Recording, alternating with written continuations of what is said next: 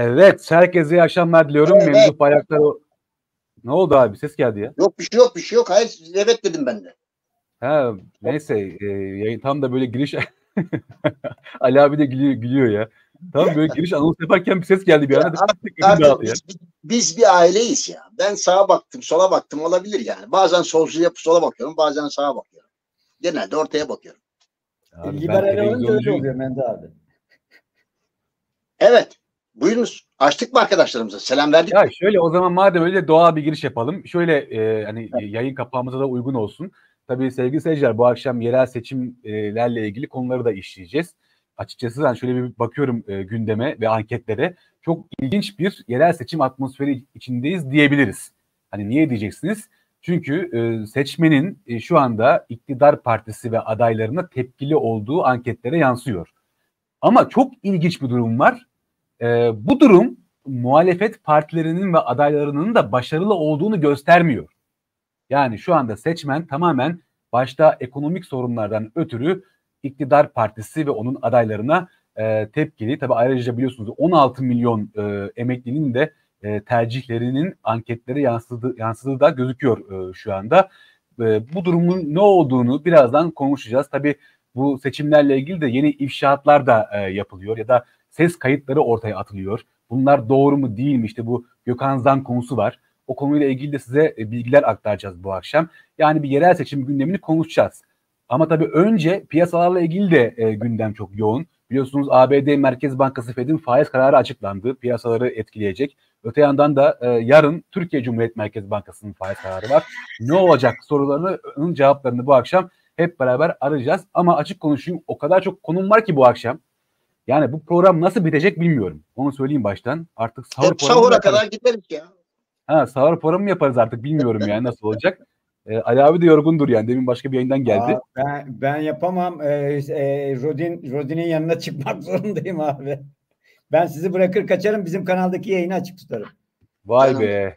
Hey gidi Ali abi. Biz onunla zamanında ne yayınlar yaptık. Bak şimdi Ali abi duruldu. Memdu abi. Görüyorsun ben, değil mi? Ben Ali'yi senin kanalında tanıdım o zamanlar. Senin yorumcun olarak ve çok beğenerek izliyordum. Hatta zaman zaman yorum yapıyordum sevgili Ali'ye. Ee, evet, sen de çok güzel sorular soruyorsun. Bravo, tebrik ederim. Teşekkürler Memdu abi. Yani senden bunu duymak çok önemli benim için. Ee, sağ olasın. Çok bayılıyorum, beğeniyorum. Çok güzel. Hmm, teşekkürler abi. Gerçekten dediğin gibi o zamanlarda biz Ali abiyle e, anlık böyle 40 bin kişinin izlediği yayınlar yapıyorduk. O hele o Peker zamanları neydi? İnanılmaz e, yayınlardı. Vallahi insan özlüyor hakikaten yani. Tabii Neyse, o zamanlar o... o zamanlar YouTube üzerinde bugünkü kadar büyük e, rekabet yoktu çocuklar. Şimdi tabii o rekabet çok yüksek rekabet var. Doğru. Doğru doğru. Bu kadar kanal yoktu evet doğru. Tabii. Daha yalnızlık. Evet. Peki şimdi Memdu abi şimdi hızlıca Hadi başlayalım. Canım. Çok konumuz var böyle hızlı hızlı gidelim. Bir e, ABD Merkez Bankası e, Fed'in faiz kararı e, ile başlayalım. İşte piyasalarla ilgilenenler merak ediyorlar e, e, yorumlarınızı. E, pas geçti e, Fed. Tabii yarınki Türkiye Cumhuriyet Merkez Bankası'nın faiz kararı da önemli. Ne öngörüyorsun abi? Ya Türkiye ile ilgili, Amerika Birleşik Devletleri ile ilgili de aslında ne kadar öngörüde bulunursak bulunalım, bunlar Merkez Bankası kararlarını tahmin etmek çok kolay değildir. Neden? Çünkü merkez bankaları dünyanın bütün ülkelerinde, bizde pek öyle değil, bütün ülkelerinde belirsizlik üzerine oynarlar. Neden? Çünkü piyasa ekonomisinde Merkez Bankası demek ne yapacağı bilinmeyen demektir. O nedenle piyasa ekonomilerinde spekülasyon, mübarektir. Spekülatörler el üstünde tutulur.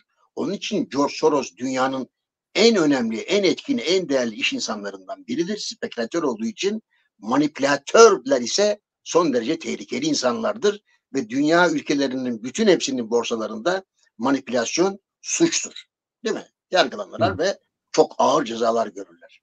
Şimdi öngörü o nedenle öngörüde bulunmayacağım ama neler yapması gerekirler dersen Amerika Birleşik Devletleri zaten beklediğimizi yaptı.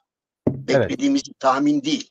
Ama kimileri diyorlardı ki ya Amerika Birleşik Devletleri'nde son gelen enflasyon 3.2'nin üzerinde yukarı doğru çıkıyor. Ya Merkez Amerika Birleşik Devletleri bir kez daha fa faiz yukarı çıkarır mı? Çıkarmaz. Hayır. Merkez Amerika Merkez Bankası hala her şeye rağmen durgunluktan korkuyor. Şunu gördüler. Biliyorlardı zaten. Biz faizleri yukarı çıkardık mı enflasyonun belini kırarız.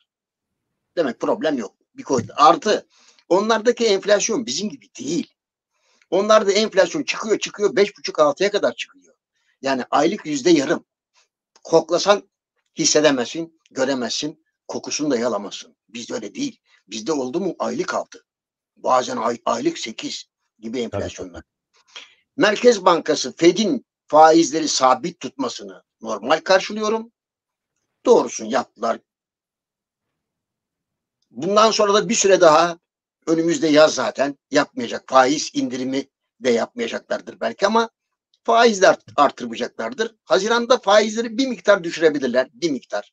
Çok zaten olmaz. abi e, başkan başkan Powell onun sinyalini verdi. Yani bu yıl zaten 3 kere bekleniyor biliyorsun. 3 kere ha, faiz gerekçesini, bekleniyor. Gerekçesini ee, duymadım. Gerekçesini dinlemedim. Yok Sadece Powell söyledi yani. Şey, in, indireceğiz ha. dedi Powell yani. Bakayım hatta e, bu yıl şey, çok, çok tecrübe. Şu anda dünyanın dünyanın bütün uzmanlara sorsanız en yetenekli, en tecrübeli mevcut başkanlar içinde kim derseniz elbette ki Powell diyeceklerdir. Hiç itirazsız. Bize gelince ben yarın Merkez Bankası'nın bütün dünyaya bizim seçimle meçimle işimiz yok.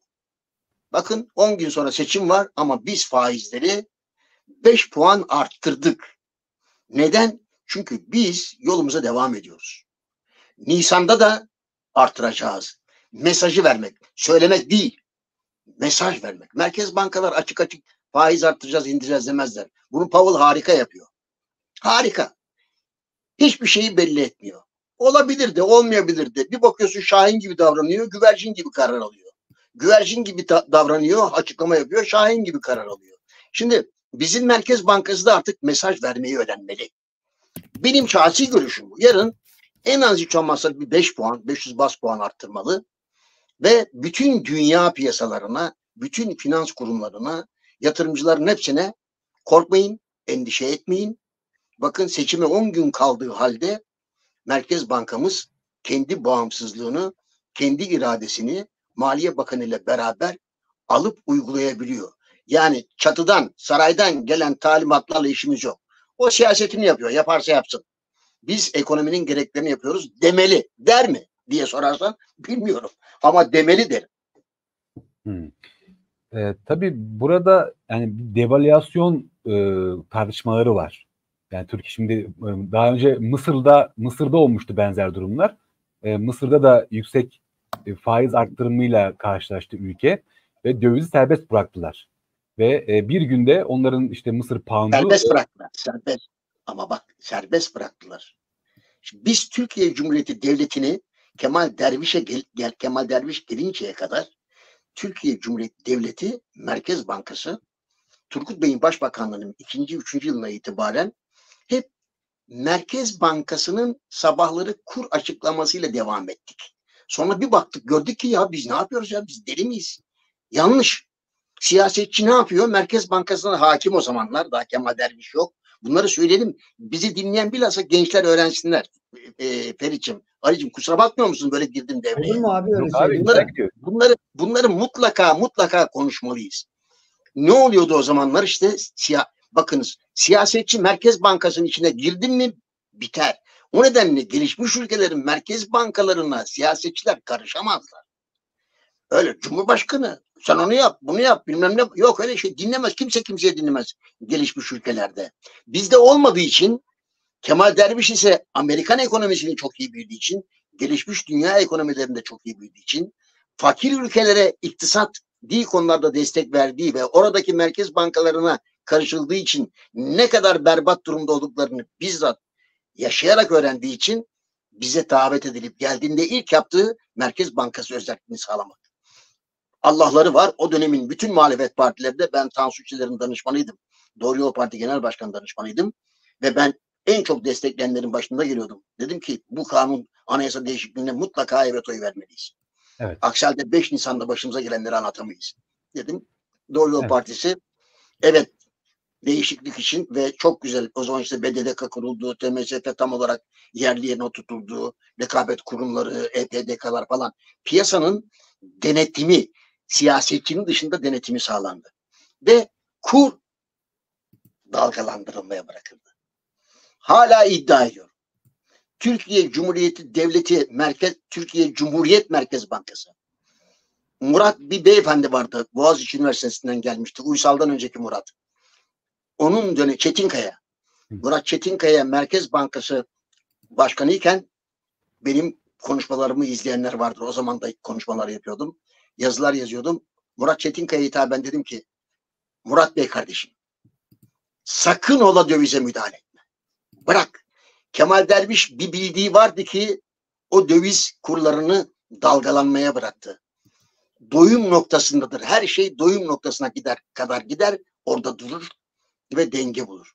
Bakın şimdi son günlerde bizde dolar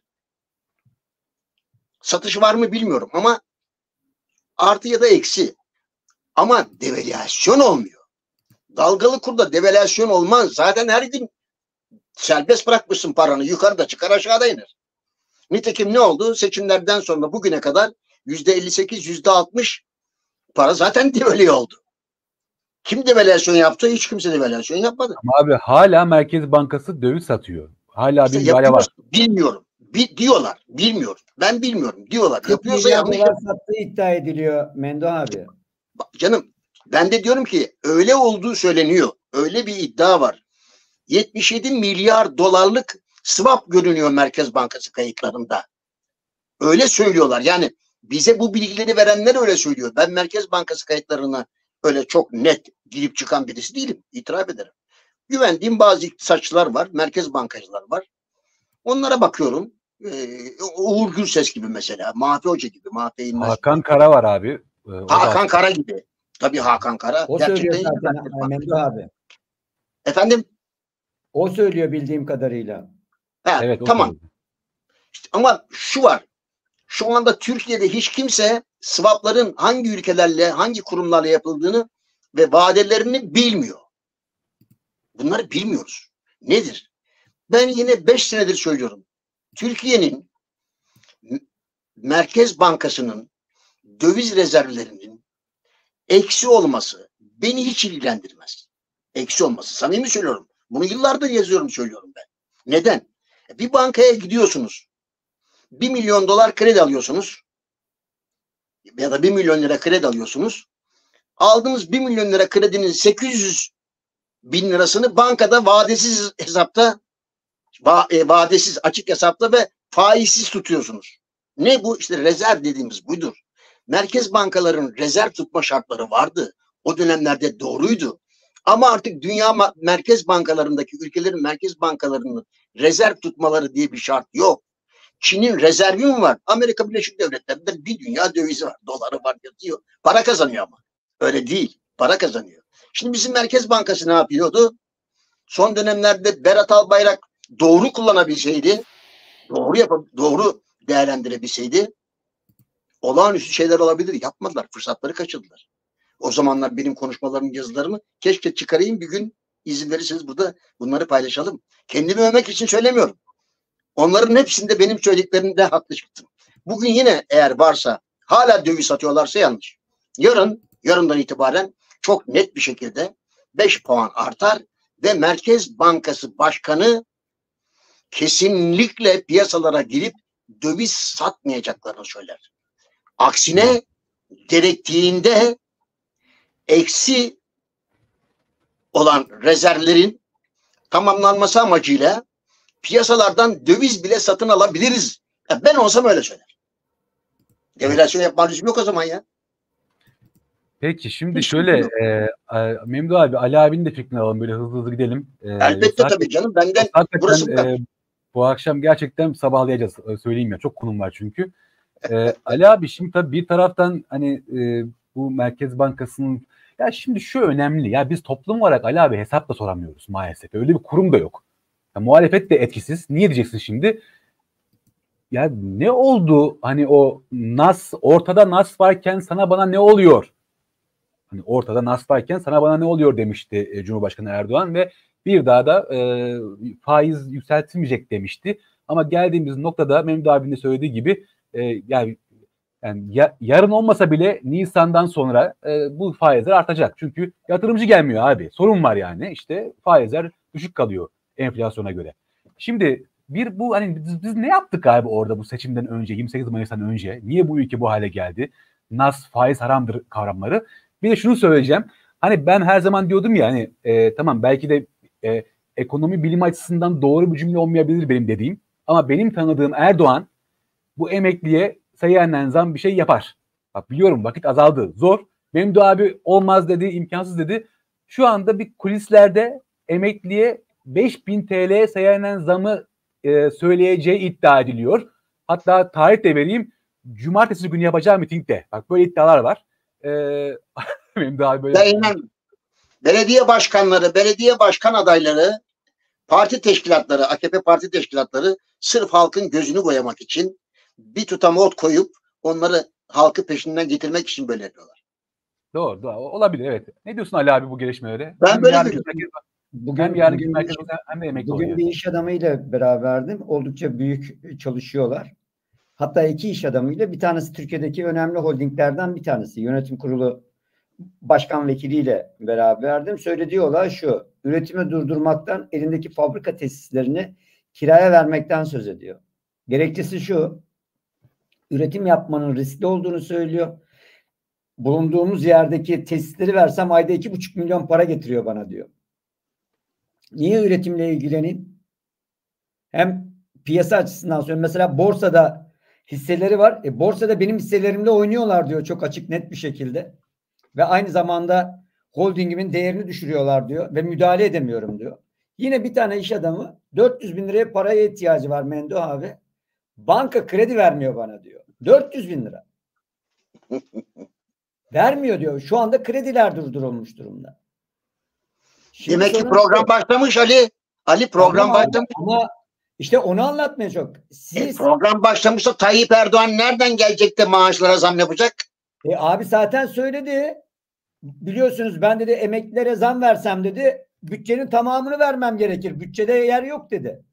Ama bir de şöyle bir olay, olay var abi. Erdoğan gibi sen sürekli bunun altını çiziyorsun abi, vurguluyorsun. Siyasetçiler seçim kazanmak istiyorlar ve seçim kazanmak istedikleri için de dibe vuruyorlar. Mendo Ama abi. genel genel seçimlerde yapılır o.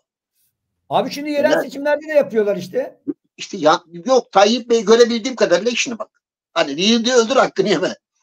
Bu yerel Abi, seçimlerde Tayyip ne- Erdoğan ne Merkez Bankası'na fazla karıştı. Sadece şunu koydu. Belli ki ona lafına giriyorum ama biraz böyle yapmakta belki fayda var. Şunu söylediler ona ekonomiyi bilenler. Dediler ki biz dünya piyasalarına öyle bir mesaj vermeliyiz ki Recep Tayyip Erdoğan ekonomiden elini müdahalesini çekti. Ancak seçimlere kadar dövizle ilgili pozisyonlarımızda döviz kurlarının 35 lirayı geçmemesi için de elimizde ne var ne yoksa satalım. Merkez Bankası'nda döviz rezervlerinin eksilmesi demin bizim benim anlattığım gibi size bir. Bakın Merkez Bankası'nda her şeye rağmen geçen hafta da söyledim. 94 milyar dolar döviz rezervi var. 94 milyar dolar. Bu çok büyük bir rakam. Yani tabanca mı çekecekler? Hapse mi atacaklar? Merkez Bankası yönetimi Merkez Bankası'nda istediği tasarruf yapar, suç değildir. Para çalmamak şartıyla. Birilerine tanıdık eşe, dosta, ahbaba 10 liralık dövizi 7-8 liradan vermemek şartıyla. Merkez Bankası istediğini yapar kardeşim başkanı. Döviz de satar, döviz de alır. Açın bakın Merkez Bankası kurulu sözleşmesini. Bunlara hakları var. Yani şunu söylüyorum. Bunları halka anlatmıyorlar. Çok büyük ihtimalle dolar 60 lira olacak, 50 lira olacak diyenler çok mahcup olabilirler. Çok dikkatli olsunlar. Yaza gidiyoruz. Recep Tayyip Erdoğan bir maceraya atılmaz. Musul Kerkük'e ya da Kıbrıs'a müdahalede bulunmazsa mükemmel bir yaz geçirecek turizmciler.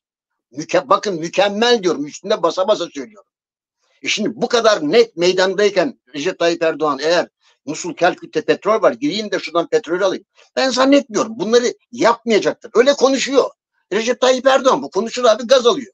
Herkesin gazını alıyor veriyor. Gazze konusunda neler söyledi? İsrail'e en çok kim mal satıyor? Türkiye. Umurunda bile. Elinde büyük bir medya gücü var. Büyük medya gücü var. Yazıyoruz, söylüyoruz işte. Metin Cihan diyor, o diyor, bu diyor. Abi kendi gazetelerinde, televizyonlarda bu konuda hiç bir kelimelik, bir cümlelik bir haber yok.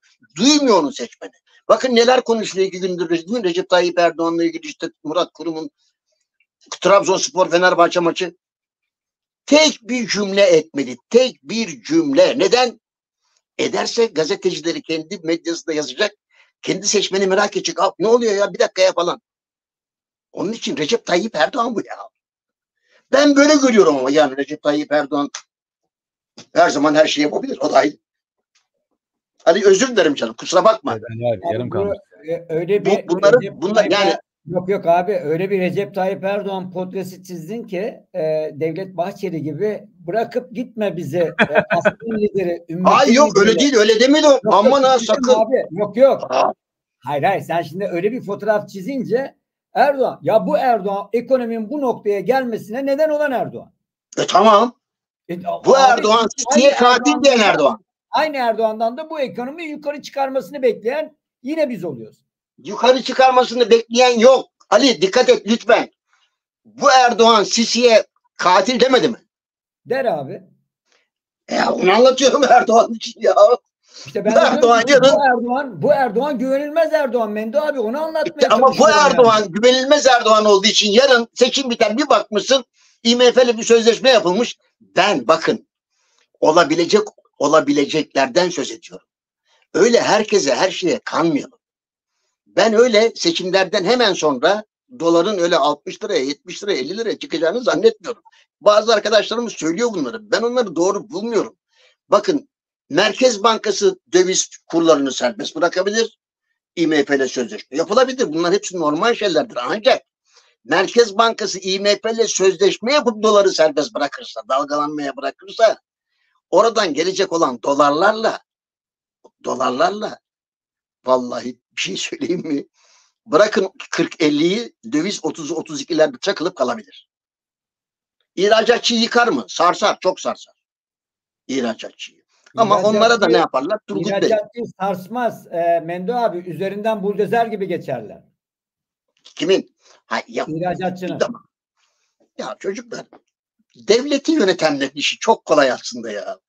Devleti yönetenlerin işini zorlaştıran bizleriz. Muhalefet partileri de böyledir Türkiye'de. Tayyip Abi Erdoğan bugün muhalefette olsaydı Mendo abi yani aylık bir geliri olan adamım ben nasıl zorlaştırayım abi? abi seni senden mi bahsediyorum ben? E tabii ki öyle dedin abi. Biz dedin zorlaştırıyoruz dedin. Ya biz dediğim halk halk. Biz dedim E ben biz de halk. halk değil miyim Mendo abi? E sen de halksın değil sen vatandaşsın. Halk dediğin kazık yiye yiye gidip Recep Tayyip Erdoğan'a her seçimde oy verendir. Ve ben o nedenle Recep Tayyip Erdoğan'ın bu seçimlere çok asıldığını gör, zan, zannet. Ya çocuklar siz istediğinizi düşünüyorsunuz. Harikasınız. Bayılıyorum. E ben böyle düşünüyorum abi. Ben en başından beri, ilk günden beri Recep Tayyip Erdoğan'ın bu seçimleri kazanmak istemediğini, Meral Akşener'in ve diğerlerinin ise Recep Tayyip Erdoğan'ın bu seçimleri kazanması için elinden gelen gelmeyen her şeyi yaptıklarını iddia edenlerden. Ben böyle Kim abi? Diğerleri kim abi? Kemal Bey dahil mi yoksa? Kemal Kemal Bey Bey değil. kalmış Ferit Allah Özgür aşkına. Özel dahil. Ya? Özgür Özel dahil ya. Özgür Özel Kemal Tayyip Erdoğan'ın kaybetmesi için ne yapıyor? Şöyle iddialar var ya Kemal Bey de şeyin e, Ekrem Bey ve Özgür Bey'in kaybetmesi için mücadele ediyor diye öyle bir Ya o- e, Onlar ayrı spekülasyon konuları. Benim konumun Evet. dışında onlar. Şu anda Evet, şu anda Cumhuriyet Halk Parti Genel. Başkanı Özgür Bak, Özel.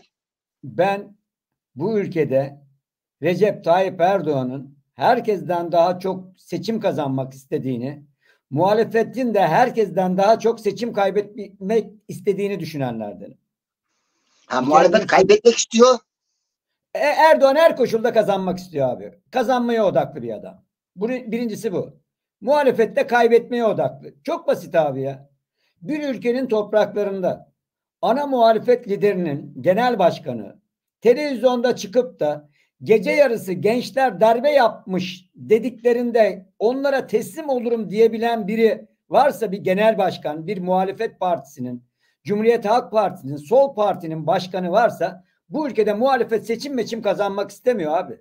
Gençler darbe yapınca iyi, ihtiyarlar yapınca kötü, askerler yapınca bilmem ne. Böyle bir şey olur mu ya? Ya Ali ben aksini darbe.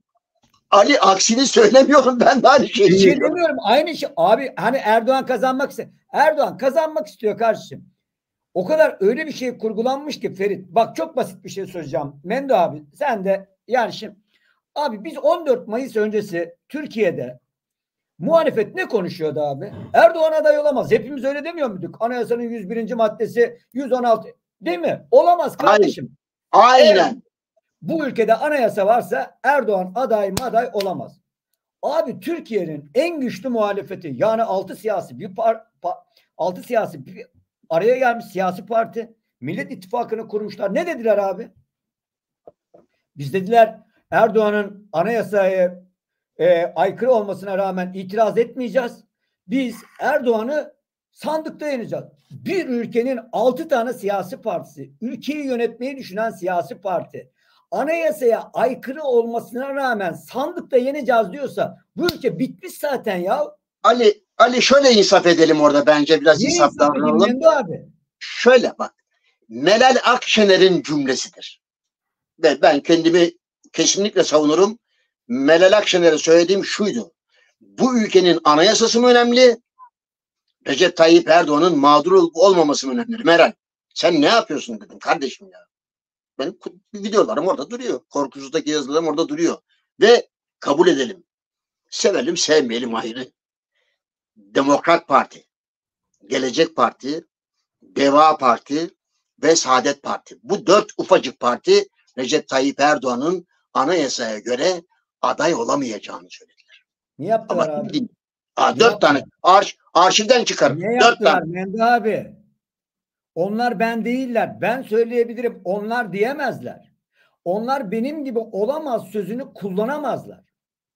Gereğini yapacaklar Mendo abi. Ya dört gereğini. tane küçücük parti gereğini ne yapacaklar canım benim yani. Seçime Mendo abi. Sokaklara düşseler kaç kişi yürüyecek yani? Hiç öyle, öyle mi abi? Sokaklara düşseler çok şey olur. En azından tarihe not düşerlerdi. En azından onlara şu andaki meclisteki 40 milletvekilinin bir tanesi olmazdı. Olmazdı. Daha ileri gideyim Mendo abi. Şimdi şimdi bak ne geldi Türkiye'ye? O 40 Erdoğan- milletvekili, o 40 milletvekili gelecekte Türkiye demokrasisinin için ne kadar değerli olduğunu hep beraber göreceğiz. Memduh Bayraktaroğlu lütfen arşive geç. Abi onu da yaz onu da konuşalım abi. Ama şimdi asıl o hikayeyi anlatacağım. Asıl hikayeyi. Şimdi Erdoğan dedi ki ben aday olmayacağım. Son seçimi. Bunu çeşitli Ben inanıyorum. söyledi. Ben inanıyorum olmayacak. Bak bak ada, e, seçmeniyle duygusal bağ kurmak için söyledi. Yapılan anlaşma yeri olmayacağını ama üç yerden itiraz yükseldi abi. Biri Bekir Bozdağ, Türkiye Büyük Millet Meclisi Başkan Vekili. Biri AK Parti Grup Sözcüsü ve MHP'den en güçlü ses yükseldi. Bırakamazsın, gidemezsin. Yani Gidemezsin, Tutkulu aşkın- gidemezsin. tutkulu tutkulu aşkın aşkına o tutkuyla sonra gidemezsin beni terk edemezsin diyen bir siyasi partinin genel başkanı ve aynı zamanda da doğum gününde yaşı kadar gül gönderen Devlet Bahçeli Erdoğan bak bak bak abi şeye bak duygusal bağa bak Mendo abi Türkiye'nin topraklarında bir erkeğin bir erkeğe yaşı kadar çiçek gönderildi olur mu abi bu? Bu tersine işler bu coğrafyada. Bütün aşklar kavgayla başlar. Bak bugün korkusuzda yazdım. kendisine benzediği için abi olur. Tuz Ben korkmaz. Balda Şimdi- tuz olmaz. Cumhurbaşkanı o- Erdoğan'dan Cumhurbaşkanı olmaz. Şimdi Tekeden sağılmaz. geliyorum, geliyorum e, Mendo abi Ferit. Ne oldu? Türkiye 100 yılının kurtarıcı lideri dedi. abi kurtarıcı, kurtarıcı lider iki yerde olur. Yeni devlet kurulur. Ali abi, Ali abi söyleyeceğim. E, ikinci yüzyılın dedi. Yani ilk Türkiye yüzyılda 100 yılının ikinci yüzyılı Millet İttifakı kullanıyor. Türkiye 100 yılının. ben mi öyle anladım ya ikinci diye. Yani ilk yüzyılda Mustafa Kemal vardı. O- ikinci de sen şey, varsın. Sen o varsın. Millet İttifakı'nın genel şeyiydi. Birinci yüzyıl, ikinci yüzyıl. Türkiye yüzyılının e, kurtarıcı lideridir. Bak şimdi, şimdi ne dediler? Semih Yalçın ardından Kütahya. Bak dört açıklamaya iyi bakın. Anayasayı değiştiririz. Gerekirse erken seçim kararı alırız. Bu ne demek Mendo abi? Abi zaten- anayasayı nasıl değiştirecekler ya? Niye abi? Şey- Ya Ali pardon araya giriyorum özür dilerim. Bir, bu az önce saydığım dört siyasi partinin geleceği Recep Tayyip Erdoğan'ın seçim kaybetmesine bağlı. Recep Tayyip Erdoğan bu seçimleri kazanırsa, partisi güçlü çıkarsa ne Demokrat Parti kalır, ne Gelecek Parti kalır, ne Deva Parti kalır, ne Saadet kalır, ne Refah kalır. Hepsi paramparça olur. Hepsi dümdüz olurlar. Yola çıkamazlar. O kadar güçlenmiş Recep Tayyip Erdoğan bunları sırtında taşır mı? Ahmet Davutoğlu'nun siyasi hayatı biter, Ali Babacan'ın siyasi hayatı biter, Gültekin'in biter, Temel Karamoğlu zaten çok az kaldı, biter. Öteki Fa- Fa- Fatih Erbakan'ın biter. Bunların bütün gelecekleri, bunu en iyi okuyan Fatih Erbakan. En iyi Fatih okuyor bunu. Fatih şunun farkında. Bu Recep Tayyip Erdoğan bu seçimlerde büyük başarı kazanırsa biz hepimiz çantamızı şapkamızı alalım. Çekilelim bir yerlere gidelim. Bitti. Erdoğan da bundan Kardeşim. çok mutlu olur Mendo abi. Kim? Erdoğan da bundan çok mutlu olur abi. Nasıl mutlu olacak? E tabii kazanırsa mutlu olur tabii. Onun için Yok, Ben bu- bu beş- ben bu beş partinin- yani. Ben- ben bu beş partinin, bu saydığım beş partinin bırak CHP'yi. İyi Parti Erdoğan kazansın diye uğraşıyor. İktidarda kalsın. Çünkü Bahçeli giderek artık iğrenç oldu seçmenlerin gözünde. Meral şimdi oraya oynuyor. Ama bu diğer beş küçük parti dediğimiz var ya bu beş küçük parti Erbak, e, Erdoğan'ın bu seçimlerden başarılı çıkmasın diye varlarını, yolla, yollarını, her şeylerini ortaya koyacaklar ve Ne koyuyorlar. olur abi koysalar ne olur? Beş etmez toplam abi. Ya sade Fatih Erbakan dört ya yüzde dört Beş deniyor. etmez abi. Beş etmez. Hepsine topla beş etmez. Hep beraber görürüz Mendo abi. Peki Ali'cim, peki canım benim. Ama ben Yok bak abi ben- Ali ben öngörüde bulunmuyorum. Ben bu siyasi partilerin, beş partinin Erdoğan'ın bu seçimlerde başarısız olmak için ellerinden gelen gelmeyen her şeyi yapacakları kanaatindeyim. Ben kanaatimi söylüyorum. Ya efendim onlar beş ederler, üç ederler bilmiyorum ama Fatih Erbakan nasıl direndi ya? Bu kadar direndiğine göre Fatih Erbakan çok kararlı. Erdoğan'ın siyasi hayatı bittiği zaman kimin önü açılıyor en çok? Fatih'in önü açılıyor. abi. Adam e, Erdoğan'ı bitirmeye çalışıyor ya. Neler Abi- söylüyor duymuyor musunuz? Ne görmüyor musunuz? Özgür Abi- Özel söyleyemiyorum söylediklerini. Anladım. Benim Pardon. benim olayım şu. Özgür ben isterdim ki Özgür Özel desin. Ke- kenarının çevresine çekilen dikenli telleri Erdoğan'ın hükümeti gö- şey gönderiyor, Türkiye'ye gönderiyor diye. Özgür Özel söylesin isterdim. Meral Akşener söylesin isterdim. Fatih söyledi. Bu risktir Fatih Erbakan için. Çok büyük risktir. Ama söyledi. Eniştesi söyledi. Damatları Mehmet Altınöz söyledi. Ama söyledi. Bunlar Erdoğan uykularını kaçırmıyorsa ben hiçbir şey bilmiyorum. Şimdi benim olayım şu Ferit. Bu seçimlerde Türkiye 1 Nisan sonrası demokratik bir Türkiye aynı zamanda 28 Ali, Mayıs- Ali ya Ferit Hülya Avşar gibi olabilirim. Pıt diye ağzımdan. Siz konuşun. Abi bir şey olmaz abi bırak. ya kardeşim gelip ya. gelip gidiyor. Bana bir, bir dakika. Tamam abi ya. O, o da, o da Benim- reyting bir şey olmaz ya. Canlarım, canlarım, güzellerim bana bir dakika müsaade. Dede, dede, dede, dede nedir? Takma diştir abi. Ben implant yaptıramıyorum sağlık sorunları nedeniyle. O nedenle takma diş koydum. Şimdi hemen geleceğim. Tamam abi sorun yok sorun yok. Evet Ali abi.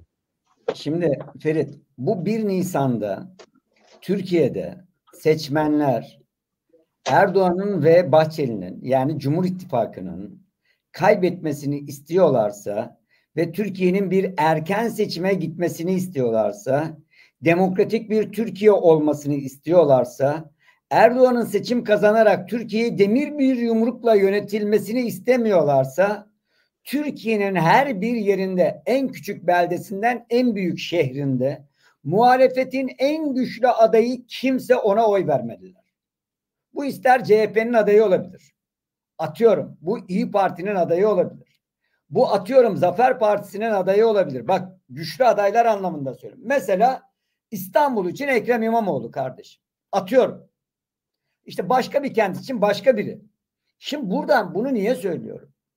Eğer Türkiye'de muhalefet yani muhalefeti bir kenara koyuyorum. Eleştirilerim diyorum ki ya 14 Mayıs'ta bu seçimleri sattılar kardeşim sattılar. Erdoğan'a altın tepsi içerisinde bir iktidar verdiler.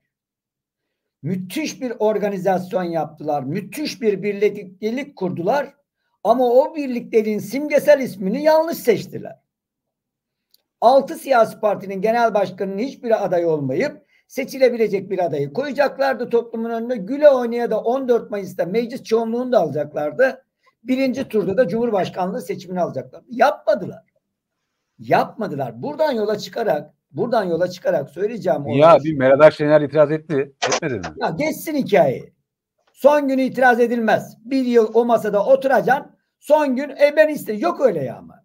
Bir yıl boyunca niye konuşmun? Ne konuştunuz o bir yıl boyunca? Yediniz içtiniz nasılsınız diye mi konuştunuz yani? Evin dedikodusunu mu yaptınız kardeşim? Şimdi arka planda heyetler çalışırken onların da yukarıda akıl üretmeleri gerekiyordu.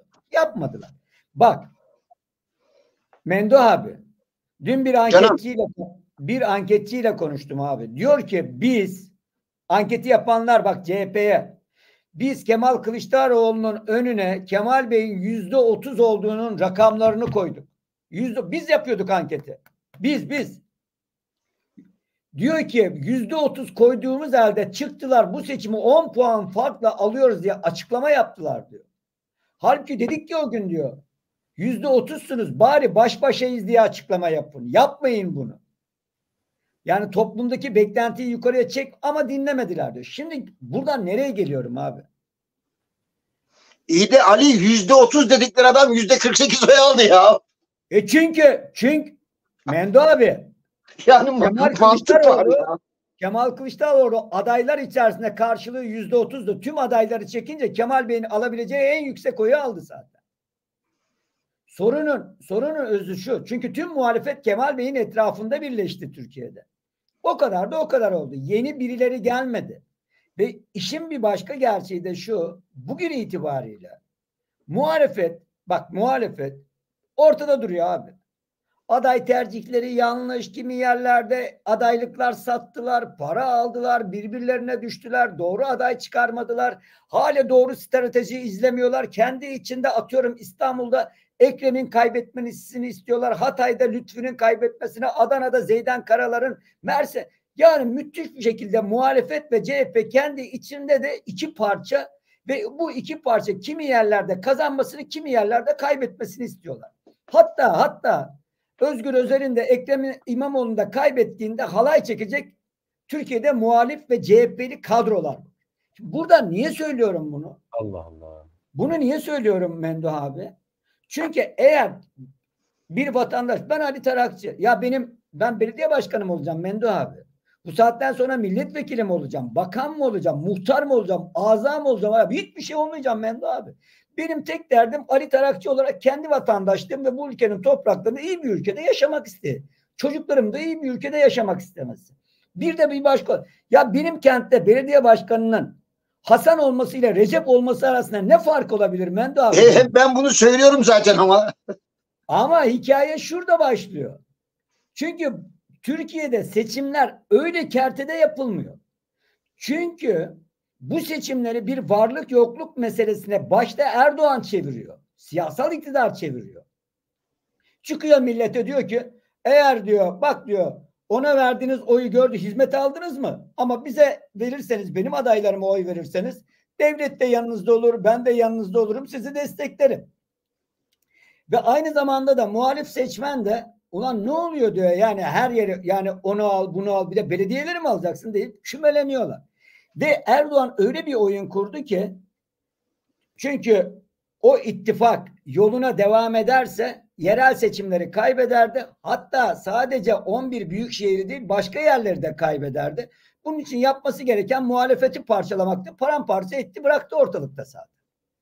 Ve şimdi şimdi işte vatandaş olarak Ali, Ferit, Mendo, Ayşe, Fatma, Gülşah kimlerse bu vatandaşlar diyecekler ki yeter ulan siz zaten bu işi beceremiyorsunuz biz becereceğiz kardeşim. Benim bulunduğum kentte en güçlü muhalefetin adayı kimse ona oy vereceğim. İlçemde ona vereceğim. Büyük şehrimde ona vereceğim. ilimde ona vereceğim. Beldede onu vereceğim.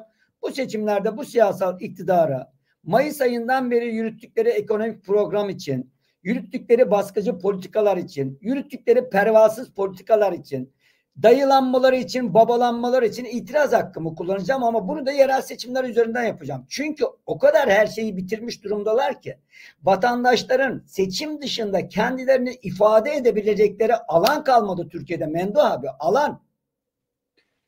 Ee, şimdi ben Yok. bir taraftan e, bir taraftan da yorumlara da bakıyorum da e, şöyle bir e, Memdu abiye şöyle bir pas atayım. E, tabii Memdu abinin yaptığı yorumları açıklayacak ya da özetleyecek kişi değilim. Haddime de değil. Ama belki bir şey yanlış an- anlaşılmıştır diye özetleyeceğim. Ya da benim anladığımı söyleyeyim size Memdu abinin yorumuyla ilgili. E, şimdi Erdoğan kazanmak istemiyor derken e, Erdoğan 28 Mayıs zamanı olduğu gibi kazanmak istemeyebilir demek istedi Memdu abi. Yani o emekliye zam gibi konularda ya da e, işte düşük faizli kredileri vermek gibi Aynen, konularda o- aynen onu söylüyorum. Bak benimkisi Erdoğan kazanmak istemiyor değil. Kazanmak istemiyor gibi. Muhalefet de kaybetmek istiyor gibi. Ben böyle söylüyorum. yani şunu anlıyorum oradan. Yani Erdoğan öyle bir siyasetçi ki gerçi sadece Erdoğan'a özel bir şey değil bu sevgili seyirciler. Yani Ya Ferit bütün bakın o, o siyasetçiler nedenle böyle yani- o nedenle Memdu abi yani şey yani sevgili seyirciler görmüyor musunuz? Yani bakmayın benim böyle bazen Allah Allah falan diyorum ya böyle doğal olarak böyle bir şaşırmış gibi yapıyorum ama tabii, tabii ki ben de biliyorum neyin ne olduğunu. Yani bir Cumhuriyet Halk Partisi düşünün. E, kongre oluyor. İşte eski genel başkan gidiyor ve çok e, seçim kaybetmiş bir genel başkandı e, Kemal Bey. E, seven var, sevmeyen var ama gidiyor. Yerine Özgür Özel e, geliyor. Onu da seven var, sevmeyen var. O ayrı bir şey ama demin Memdu abinin söylediği gibi artık genel başkan kendisidir. Özgür Bey'dir. Normal şartlarda hani daha dünyaya, hayata saf bakan e, işte bizler gibi insanların e, ne yapması gerekir? E, AK Parti karşısında, Erdoğan karşısında muhalefetin birleşmesi gerekir değil mi? Olmuyor abi. Olmuyor. Yani siyaset böyle illet bir şey yani. Bak ne oluyor? Eski ekip yeni ekibe karşı e, alttan alttan mücadele ediyorlar. Bunu artık hepimiz biliyoruz. Şimdi Erdoğan da 28 Mayıs'ta kendisi için devletin, kamunun imkanlarını kullandı. Ama şimdi tabii ki AK Parti'nin genel başkanıdır. Tabii ki Murat Kurum'un kazanmasını ister ya da Turgut Altınov'un kazanmasını ister. AK Parti'nin başarısını ister. Ama Memdu abi diyor ki bu 28 Mayıs'taki kadar değil. Çünkü orada kendisinin çıkarı vardı. Burada kendisinin çıkarı yok ya diyor. o o o Cumhurbaşkanlığı seçimiydi. He, Ali abi de O- Ali, o- Ali abi de e, Mehmet abi Ali abi de buna karşı çıkıyor. Diyor ki hayır. O Erdoğan her zaman kazanmak ister. Yani e, e, yani 28 Mayıs arasında bir fark yok diyor Ali abi. Yani bu konunun bir e, özetini yaptım ki daha iyi anlaşılsın diye. Yoksa Memdu abinin e, AK Parti'yi yani e, ben onu tanıdığım için yani bu arada Memdu abi adalet adaletli de bir yorum yapar. Yeri, yani yeri gelir AK Parti de över. Onu tanıyorum yani. Ama Ya burada bir hani, tabii öveceğiz. Hayır bazıları yazıyor. Memdu abi AK Partili olmuş falan filan gibi de. e, Hayır durum ya benim mottom ne? Benim mottom ne? Onlar beni belli ki izlemiyorlar. Ben ne derim hep? Burada 6 yıldır çekim yapıyorum videolarda. Yazılarım yaklaşık 30 senedir yayınlanır. Hep şunu söylemiştim. Benim motto. Had, haddini bilmeyene haddini bildireceğiz. Hakkıya hakkını vereceğiz. Düşmanım olsa, bak düşmanım olsa, haklı ise ya benim bugüne kadar bir ben Galatasaraylıyım. Benim haksız yere bir tane Galatasaray'ın golüne, galibiyetine övgü düzdüğümü gören olsun getirsin bir daha bu işi yaparsam şerefsizim. Ben Galatasaray bazen penaltı kazanıyor. Kendim ya tweet atıyorum ya. Böyle penaltı olmaz kardeşim diyorum. Ne hakemi hakem diyorum ne hakimi hakim. Galatasaray böyle penaltılarla şampiyon olacaksa olmasın. Diyen adamım ben ya. Peki Memdu abi bir söyleyeceğim şimdi. Bir yeni bir konu açacağım şimdi. Neden Erdoğan milli serveti üzerine mi geçirdi e, dedin? Yani bunun Ha- sebebi nedir? Yani neden e, yani böyle çok ciddi bir e, başlık bu. Milli serveti üzerine mi geçirdi? Tabii tabii tabii. İroniyle beraber çok acı bir gerçek var orada. Yarınki Korkusuz'da da bu konuyu yazdım zaten. Hatta başyazım bu oldu. Şimdi hepimiz biliyoruz. İlkokul, mektepte çocuklar, yurttaşlık bilgisi okuyan çocuklar bile biliyorlar ki bir ülkede bir devlet halkın kurduğu en büyük organizasyondur. Ülke kimindir? Halkındır. Devlet nedir? Devlet halkın olan ülkeyi kurulan organizasyonla yöneten bir kurumdur. Devlet bir organizasyondur yani. Haliyle ülke ülkenin sahibi halk, ha, ülkeyi yöneten devlet. Şimdi ülkeyi yönetmesi için demokrasilerde halk temsili demokrasidir bu. Ne yapar? Özgürce seçim sandıklarına gider. Eşit bir yarıştan sonra ülkeyi yönetecek politikacıları seçer. Başkanlık sistemiyle başkanlığı seçer. O bakanlar kurulu kurur. Parlamenter sistemse parlamentoyu seçer. Parlamentoda güveniyor olan bir hükümet kurulur. O da ülkeyi yönetir. Bütün bunların hepsinde ne başkandır devletin sahibi ne başbakandır devletin sahibi. Hangi sistem olursa olsun demokratik rejimlerden bahsediyorum. Ülkenin sahibi. Halktır ya. Devletin sahibi ama devlet organizasyon olarak ülkeyi yönettiği için ülke maddi devlet ise manevi olduğu için ülkenin bütün ülkenin sahibi halktır. Şimdi böyle bir ülkede milli servet denilen ülkede ülkeler milli servettir. Milli gelir başkadır, milli servet başkadır. Böyle bir ülkede o ülkenin seçilmiş cumhurbaşkanı bir şehrin belediye başkanının adayına Murat bak bunlar elinden onu da alır ha. Onu da kaptırma. Sahip çıkmalına diyemez. Yani Diye bak üstüne basa basa söylüyorum. Diyemez. Demiş ise diyor ise hiç kimse farkında değil. Demek ki bir yerlerde Cumhurbaşkanı ülkenin servetini almış gitmiş kardeş. Üstüne geçirmiş. E biz bilmiyoruz. Çünkü bu odur. Bu, bu ifade o ifadedir. Ya beyefendi sen seçilmişsin ama sen ülkenin sahibi değilsin. Sen devletin sahibi değilsin. İstanbul Belediyesi bir kamu kurumu. İstanbul Belediyesi'nin sınırları dahilinde yapılan ve dün açılan metro bakanlık tarafından ama İstanbul Belediyesi'nin parasıyla yapıldı. Yani İstanbul Belediyesi'nin parasına el koydunuz. Devletsiniz çünkü yukarıda devleti yönetiyorsunuz. Aldınız parayı bakanlığa verdiniz. Bakanlık yaptı. O parayı İstanbul Belediyesi'ne bıraksaydılar o metro bakanlığın yaptığı fiyattan asgari yüzde otuz daha ucuza mal olacaktı. Bak ne kadar o cümlemde haklıyım. Diyelim ki İstanbul Belediyesi'nin 700 liraya yaptıracağı bir metroyu 1000 liraya yaptırdıklarını iddia ederim. İddia ederim. Ama İstanbul Belediyesi'nin parasına yaptıkları metro için çaldırmamalı dedi. Aman ha bir dakika. O mal ne Ekrem'in malıdır ne Murat'ın malıdır ne Erdoğan'ın malıdır.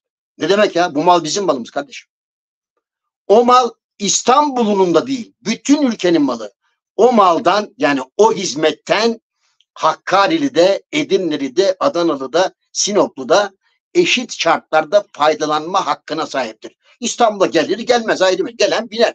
Ama o mal, o hizmet milletin hizmetidir. Sen ne hakla dersin ki bir belediye başkanı bile olmamış daha henüz bir adama ve başarısızlıklarıyla bütün dünyaya rezil olmuş bir adama. Ama Murat bak kardeşim bunlar onu da kaparlar çalarlar sakın kaptırma malını. Ne demek ya? Hmm. Ya Ferit bu cümlenin çevirisi ben bu ülkenin bütün servetini zimmetmek için. Benim bu mal ya. Kaptırmayalım onları. Ekran, e, ekran Yunan herhalde. Herhalde Yunanlı yani. Ya, biz, bu ülkenin bütün belediye başkanları bu ülkenin servetini, bu ülkenin servetini yönetmekle yetkililer. Hangi partiden olurlarsa olsunlar. Eğer bu ülkenin servetini doğru yönetiyorlarsa bilsem ki yarın Erdoğan doğru yönetecek hep söylemişimdir. Ya beni artık tanınmışlardır ya. 6 yıldır. Bu ülkeyi Erdoğan'ın doğru yöneteceğini görsem, bilsem, emin olsam, göreyim. Alkışlarım kardeşim ya.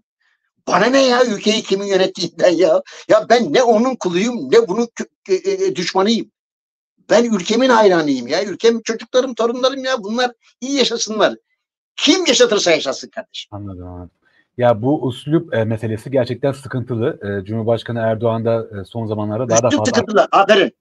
Evet, evet, evet. Bravo. Ya, o sıkıntı. Bravo. E, evet, çünkü yani çok örnek verebiliriz bu konuyla ilgili. Mesela ne bileyim, e, benim bakanım gibi cümleleri de vardır. Yani şahsım. Ne demek senin bakanı ya? Milletin bakanı. milletin vekili, senin vekilin olamaz. Yani bu millet o vekili sana vekillik yapsın diye seçmiyor. Bu ülkenin milletvekillerinin kartlarında şimdi bilmiyorum hangi şehrin milletvekili olduğu yazmazdı. Peki. Yani bak son Peki abi. yazıyor mu? Peki abi. Ee, bilmiyorum ne yazıyor mu dedin abi?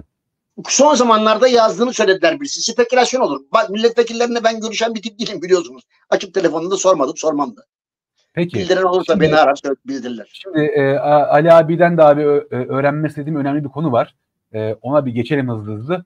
Ali abi e, ya Allah aşkına bu Gökhan Zan olayı, Gökhan Zan olayı nedir? Ya sende bu konuyla ilgili bilgiler var biliyorum. Ya da sevgili seyirciler siz de yazın bak chatte ya da yorumlarda. E, merak ediyorum fikrinizi. Yani işte daha, e, tavırlarıyla, davranışlarıyla hani örnek olarak gösterilen özellikle muhalif camiada cesur bir karakter gibi e, görülen işte e, Hatay'da deprem sonrasında özellikle hükümeti sert eleştiren, dik duruşlu e, bir e, eski futbolcu ama yeni siyasetçi bir isim Gökhan Zan. Ya tam işler böyle yolunda gidiyor falan gibi gözükürken bir ses kaydı ifşasını gördük. E, aman Allah'ım o ne, o ne öyle yani gerçekten yani şok oldum ben de. Beklemiyordum açık konuşayım ilginç bir şeydi. Ama Gökhan da diyor ki e, Gökhan Bey de diyor ki kardeşim bana komplo kuruldu. Bu hani deep, deep fake mi diyorlar ne diyorlar böyle bir, bir montaj işi e, diyor ve gerçekler yakında ortaya çıkacak diyor. Sizin fikriniz nedir ve Ali abi bu olayın perde arkası nedir?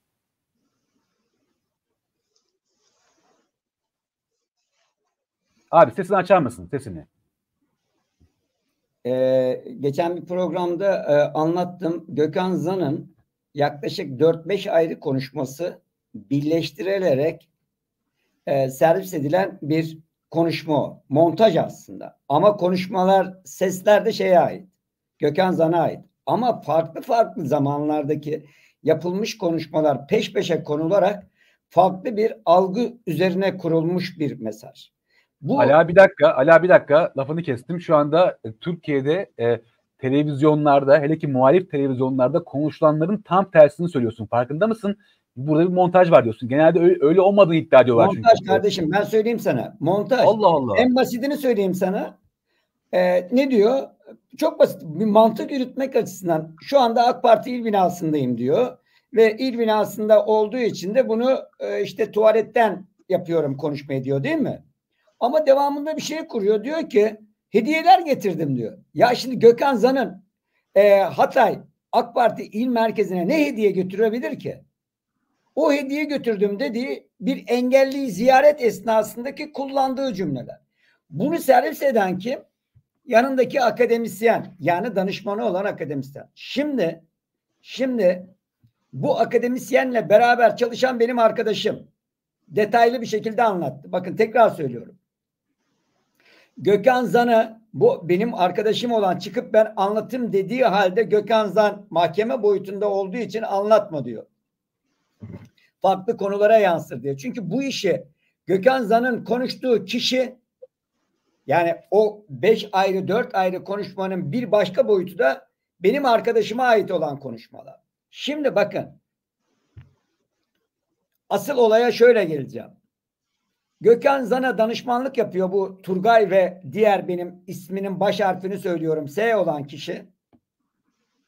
Diyorlar ki Gökhan Zan'a Hatay'da agresif bir kampanya yürütmek gerekiyor. Hem AK Parti'ye karşı hem Lütfi Savaş'a karşı. Bunun için para gerekli diyorlar. Ve diyorlar ki tipte yok, Gökhan Zan'da yok. O zaman diyorlar ki Gökhan Zan'a bununla ilgili diyor bir iş adamından bağış alınması gerekir. Sosyal medya kampanyasının bedeli 3 ile 5 milyon arasında. Ve yine diyor ki arkadaşım Gökhan Zan'a sosyal medyada özellikle Twitter'da reklam verilirken dolar üzerinden veriliyor. Bakın tekrar söylüyorum dolar üzerinden veriliyor deyince 3-5 milyonu Gökhan Zan dolar olarak algılıyor. Aslında 3-5 milyon Türk lirası ihtiyaç olan para. Deniyorlar ki Gökhan Zan'a bir iş adamından bağış al. Bu bağışı da sosyal medyadaki kesilecek fatura direkt iş adamına kesilsin. İş adamı da direkt olarak sosyal medya ile ilgili mecraya parayı ödesin ve arada biz olmayalım. Bak şimdi. Bu konuşma ilk olarak Erk Acerer'e gönderiliyor yurt dışında. Erk Acerer'e. Erk Acerer'e bu görüşme gönderiliyor ve bunun ve bunu paralı yayınlaması istediği ifade ediliyor. Erke Erk de küfürlü bir açıklama yapıyor dikkat ederseniz sosyal medya üzerinden. Cumartesi akşamı da onunla bunu ayrıntılı bir şekilde konuşacağız. Eğer bir, bir aksilik olmazsa Gökhan Zan da programa gelecek. Şimdi şimdi bak asıl olay nerede? Şimdi bu çok açık net bir şekilde montaj 5-4 ayrı konuşmanın birbirinin arkasına eklemlenmesi. Bir, Turgay'ın da, e, e, Gökhan'ın danışmanı olan Turgay bunu Lütlü Savaş'a götürüyor kardeşim. Turgay Koca, Kocakaya. Kocakaya değil mi? Evet. Evet, Turgay Kocakaya. Bu şeyin e, videonun yayınlanarak Gökhan Zan'ın baskı altında kalacağı ve çekileceği üzerine bir kurgu yapılıyor. Ve aynı zamanda Türkiye İşçi Partisi'ne de ulaştırılıyor bu video. Türkiye İşçi Partisi'ne ulaştırıldığında Gökhan Zan'la konuşuluyor. Nedir bu diyor. Gökhan Zan da anlatıyor bunu tüm ayrıntılı bir şekilde. Bunun bir düzmece olduğu söyleniyor ve bununla ilgili mahkemeye gideceği söyleniyor. Ahmet Şık'ın da Ahmet Şık da diyor ki bekle pazartesi günü beraber gidelim mahkemeye diyor. Ama mahkeme olayını Gökhan Zan Ahmet Şık'tan önce gidiyor ve o mahkemeye gittiğinin ardından da Türkiye İşçi Partisi bir açıklama yapıyor 2A4 boyutunda. Diyorlar ki Gökhan Zan'ı adaylıktan çektik. Bir. Bir. Bu açıklama neyin arkasından geldi? Cumhuriyet Halk Partisi Genel Başkanı Özgür Özel'in eğer Türkiye İşçi Partisi Hatay'da adayını çekmezse seçimi kaybediyoruz açıklamasının ardından geldi. Video bunun ardından geldi. Tartışmalar bunun ardından geldi ve Türkiye İşçi Partisi Gökhan Zen'a adaylıktan çektiği bunun arkasından geldi. Bir dakika abi o zaman yani İşçi Partisi ile CHP arasında da mı bir anlaşma olduğunu iddia ediyorsun şu anda? Bu, bu, bu, bu haber ya bu. E tabii ki var canım yani bunun için bunu anlamamak için saf olmak lazım Feritçiğim. Öyle saçmalık olur mu? Tabii ki Ama anlaşma. tip tip tip kendi adayını CHP ile anlaşarak yedi mi yani? Gökhan? Evet geri çekti. Çok net. Hiç kimse hikaye anlatmasın. Nedeni şuradan dolayı. Hani Adayın geri çekildiği falan yok ya aday ben adayım deyip duruyor Yok, hala. yok. Türkiye için parti olarak adaylarını arkası parti olarak Gökhan Zan'ın arkasından desteğini çekti. Bunun şimdi neye yansıyıp yansımayacağını kamuoyunda göreceğiz. Ama asıl Ya Ali araya gireceğim affedersin ama araya gireceğim. Bir soru soracağım. Türkiye İşçi Partisi'nin adayı veya da adayına akıl veren kimdir ki bu bir iş adamından 3-5 milyon lira alalım diyor. Ya bu nasıl bir zeka ya? Mendo abi O nasıl zeka? 3-5 milyon niye versin adam? Mendo abi niye Yok. mi versin? Ben söyleyeyim Mendo abi. Ne? En çok deneyimi deneyimi olan kişilerden bir tanesin. Türkiye'de bazı iş adamları siyasette her siyasi partiye bağış gönderiyorlar Mendo abi. Bunu en Hatır iyi bilenlerden birisi. Hat, hatır için. Hakkı Ali. için, çıkarı için, beklentisi Ali. için olarak görürsen gör abi. Neredeyse 60 senedir bu işin içindeyim. Hatır için siyasetçiye para veren iş adamını hiç görmedim. E, peki Hele efendim. sol, hele sol partiye, hele işçi partisine. O zaman Mendo abi, o zaman sana şöyle anlatacağım. O zaman verip vermediği konusunu şöyle anlatalım. Madem ben at, görmedim diyorsun, gördüğünü sen söyle. Ha ben görmedim ya. Ben Tamam abi, gördüğünü gördüğünü anlayacaksın abi. Onu- Sen futbolu seviyorsun değil mi abi? çok. Tamam. Futbolda şampiyon olmak isteyen takım kendisinin en yakın rakibinin yenilmesi için, aradaki puan farkının açılması için rakip takıma e, hatır e, şikesi yapıyorlar mı Mendo abi Türkiye'de? Teşvik primi yapılıyor. Teşvik primi çok iyi. Ama bunun adı şike olmuyor değil mi abi? Hayır teşvik primi şikedir. Heh, tamam. Şu anda oldu. Şu, şu anda Harikasın. oldu. Evet, Harikasın Şimdi oldu. Çok güzel. Şikedir. Şimdi tersine teşvik primi verildiğini biliyoruz hepimiz. Ama Şimdi- şikedir. şampiyonluğa giden takım bunu yaparken geriden gelen ikinci takımda şampiyon takımla karşılaşacak takımlara hatır e, pi- e, primi veriyor mu abi? Teşvik veriyor mu? Türkiye'de değil bütün dünyada bildiğim kadarıyla teşvik primi var ama yasak. Yakalandıkları anda da cezalandırılıyor. Tamam. Şimdi sorum şu. Siyasette var mı teşvik primi Mendo abi? Ben teşvik primine tanık olmadım. Neden tanık olmadım? Şöyle olur. Hayır şöyle olabilir tabii canım. Öyle bir seçim yapılır ki bir parti desteklendiğinde mesela diyelim ki işte A partisi AK Parti seçimi kazanamıyor ama eğer B partisine CHP kaybettirir ise seçimi kazanma ihtimali var. Ha o zaman AK Partili bir iş adamı gelir o e, seçime girmesini istediği partiye adayına oy verir. Ama bunu teklif eden işçi partisi yahu. Tamam abi. Abi. Şimdi sen, a, Ya tamam, yapmayın anladım. etmeyin eylemeyin yani Tamam ya. Abi. Şimdi sorum şu abi. Pekala. O zaman açık konuşacağız. 14 Mayıs seçimleri öncesinde Türkiye'de Türkiye İşçi Partisi'ne CHP Genel Merkezi tarafından para verildi mi abi? Bilmem. Görmedim ki duymadım. Var mı? Ee, iddialar vardı. İd- id- iddialar. Şimdi vardı. basına, basına yansıyan iddialar vardı. Tamam, bir kenara koyacağım. Şimdi sana anlatayım abi. Teşvik birimi nasıl oluyor? Türkiye'de filanca ilçede ve ilde şu an için söylüyorum aynen abi. Ali, Çok Ali bak pardon. Bir defa şurada anlaşalım. Teşvik primi olmaz demedim. Bak. Teşvik primi verilir. Verenler var. Suçtur ama verenler var ayrı. Ama teşvik primini kimin verdiği önemli. Galatasaray Fenerbahçe maç yapacak. Mesela yine madem örnek verelim. Beşiktaş Fenerbahçe'nin Galatasaray'ı yenmesini istiyor. Çünkü işine geliyor. Beşiktaş Fenerbahçe'ye teşvik primi verir. Ama kara gümrük vermez. Kara gümrük ne işine gelir ya? kara gümrüğe verildi. Ben de diyorum ki ben de diyorum ki ben de diyorum ki işçi verilir partisi, diyor. işçi partisinden bahsediyoruz. Tamam işçi abi. partisi kendine bir danışman bulmuş ki İşçi Partisi bulmamış. Gökhan Zan bulmuş abi. Karıştırma. ikisi farklı şeyler. ya o zaman Gökhan Zan'ı aday yapan işçi partisi bitik bir parti demek ki. Gökhan Abi. Zan dedin. Bir defa ben bak ben adam olsun. Ben ben işçi partili olsam hiç aday çıkarmam ya da Gökhan Zan'a da yapmam. Ya hayatımda futbol hayatında bir kere bile bir takıma kaptan olamamış. Kaptan. Tamam Memdu O abi. Galatasaray'da oynamış, Beşiktaş'ta- Memdu abi. Abi. Türkiye İşçi Partisi'nin bir sosyalist parti olarak İyi Parti'den milletvekili adayı olmuş birini kendi e, e, Hatay'da Büyükşehir Belediye Başkan adayı göstermez. İşin ayrı bir gerçeği bu. Ha, tabii Şimdi bak O, o, o yine ayrı. O yine O- ayrı. Bir faşist bir faşist bir kafatasçı bir partinin adayını alıyorsun. Aday ya bu bitmiş bu- Türkiye'de siyaset popüli- ya. Bunun, bunun midem popülizm. Mendo abi popülizm. Şimdi bunu bir kenara koy. Şimdi sana başka bir şey söyleyeceğim abi. Bak çok net bilgilerim var ama sadece ilçe olarak il olarak söyleyeceğim. A ilçesi B ilçesi diye. Abi filanca ilde tamam ben seçimi kazanacağım abi. Sen de ikimiz arasında geçiyor yarış. Şimdi Mendo abinin oylarının azalabilmesi için Mendo abiye yakın olan Ferit'in olduğu adaya ben başka iş adamlarını göndererek destek olurum Ferit e, bir Mendo abi.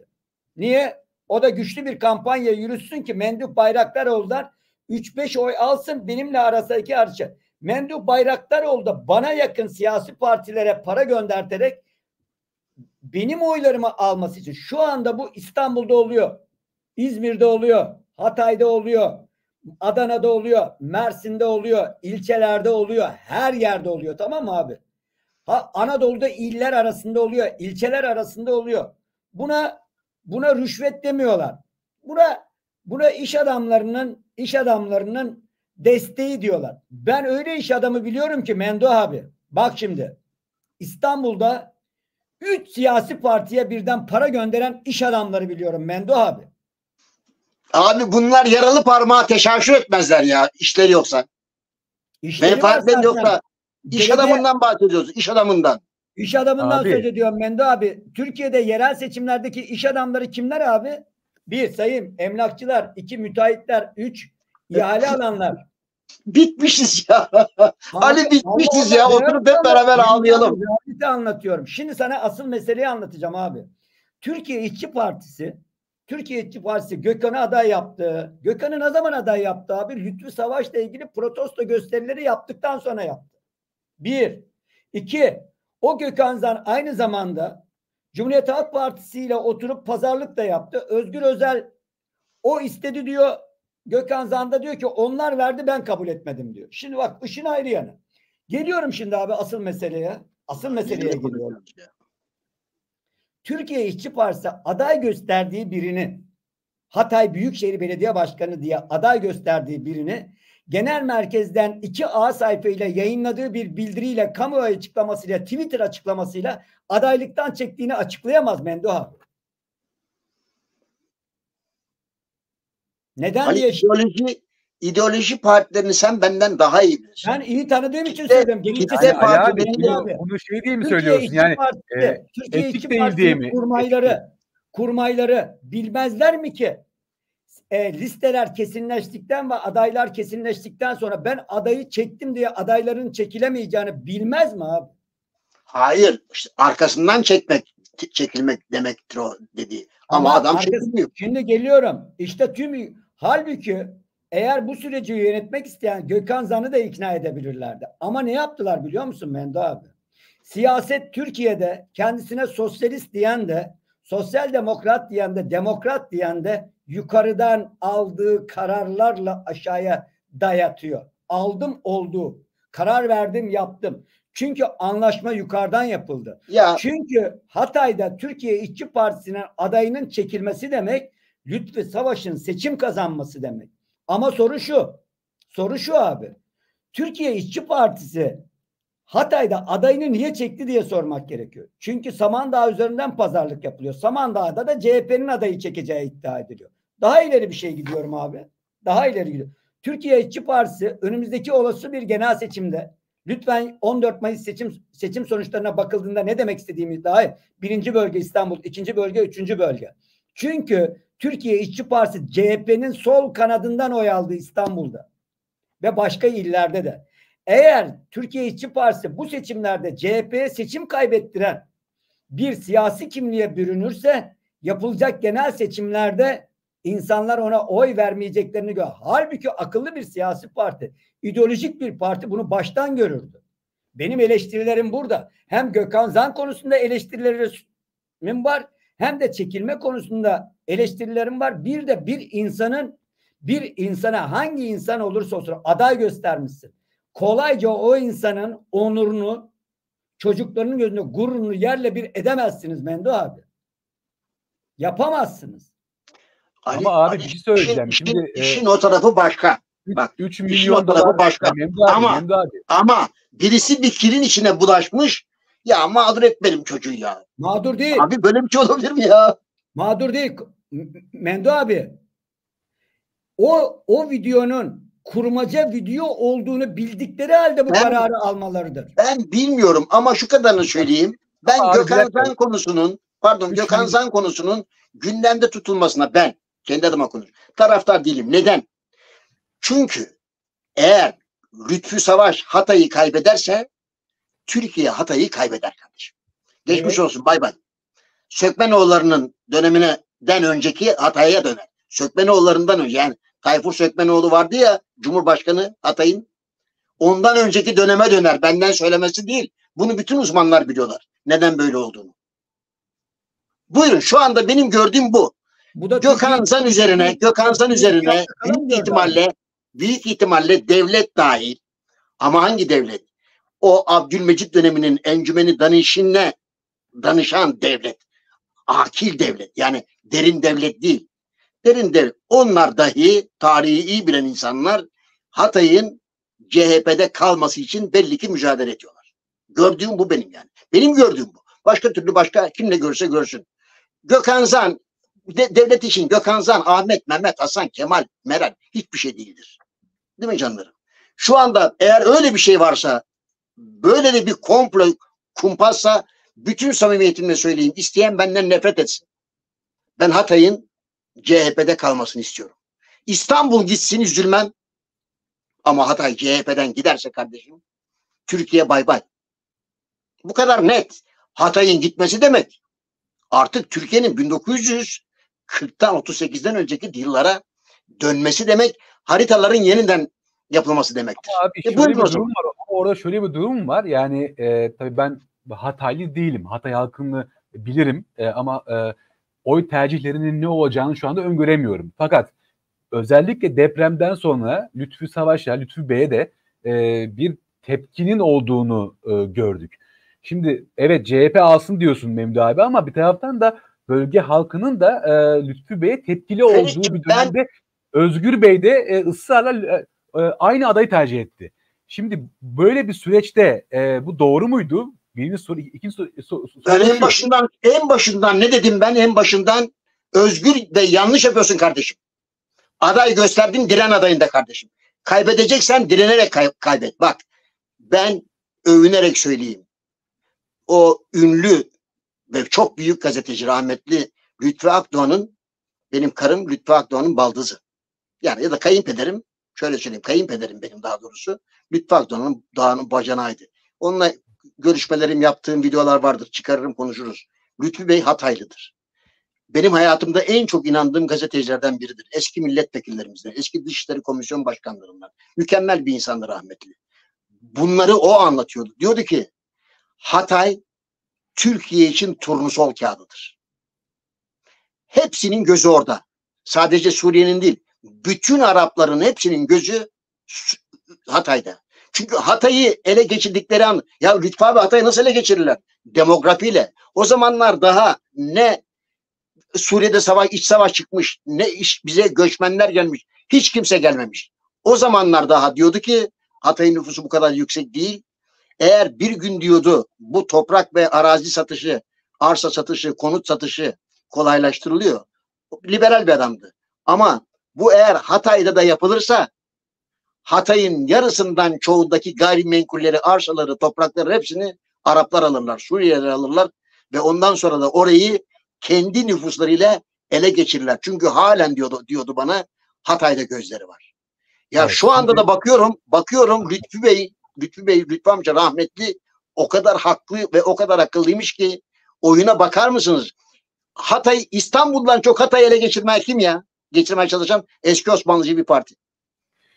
Ya bu Ya ayıp. yorumuna Ay- abi bu bu Ayıp. yorumuna şöyle, bu yorumuna şöyle bir cevap vereceğim de olmayacak ama iyi de abi olsun yani olsun ver. Hayır, hayır, şöyle, hayır, şöyle, şöyle.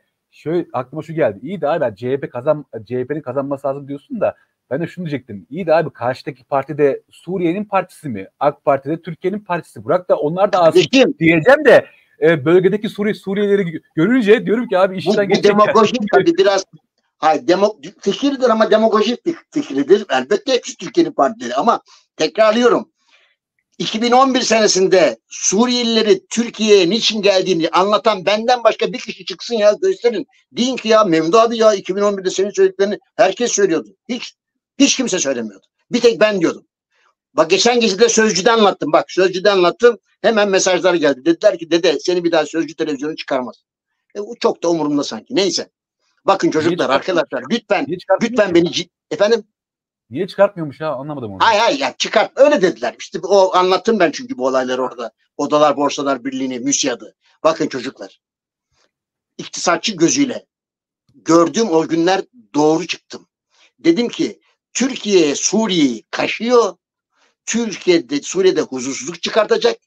Türkiye Suriye'den Türkiye'ye işçi getirmek istiyor ama öyle öyle 50 bin 100 bin değil milyonlarca işçi getirmek istiyor.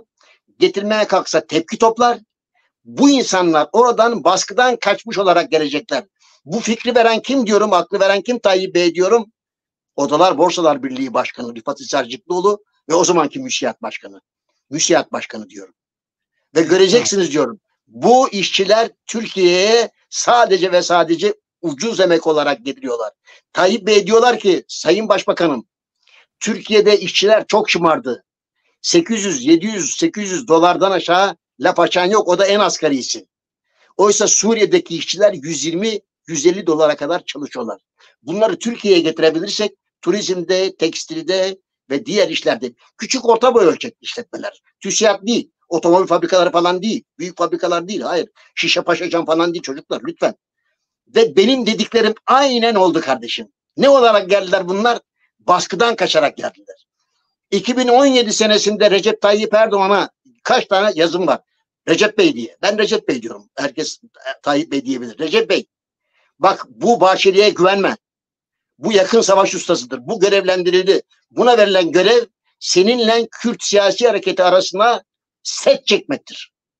Meral Parti'yi kurduğunda ne demişim? Dikkat edin ya orada hepsi aşırıda ya. Sinan Oğan, Ümit Özdağ, Meral Akşener, Koray Aydın. Dördü de dördü de yeni bir partiyi devlette o benim anlatmadığım benim akil devlet olmayan devlette Kürt siyasi hareketiyle CHP'nin arasındaki iletişimi koparmak için görevlendirilecekler. kuracakları parti CHP'ye yaklaşacak. Olmadı mı? Hadi bana birisi desin ki ya dede yalan söylüyorsun ya. Olmadı. Meral öyle şey yapar mı ya? Yaptı işte. Ya ben defalarca dedim ki Kemal Bey'e Korkusuz Gazetesi'nde yazdığım videolarımda söyledim. Kemal Bey Meral'e güvenme kardeşim.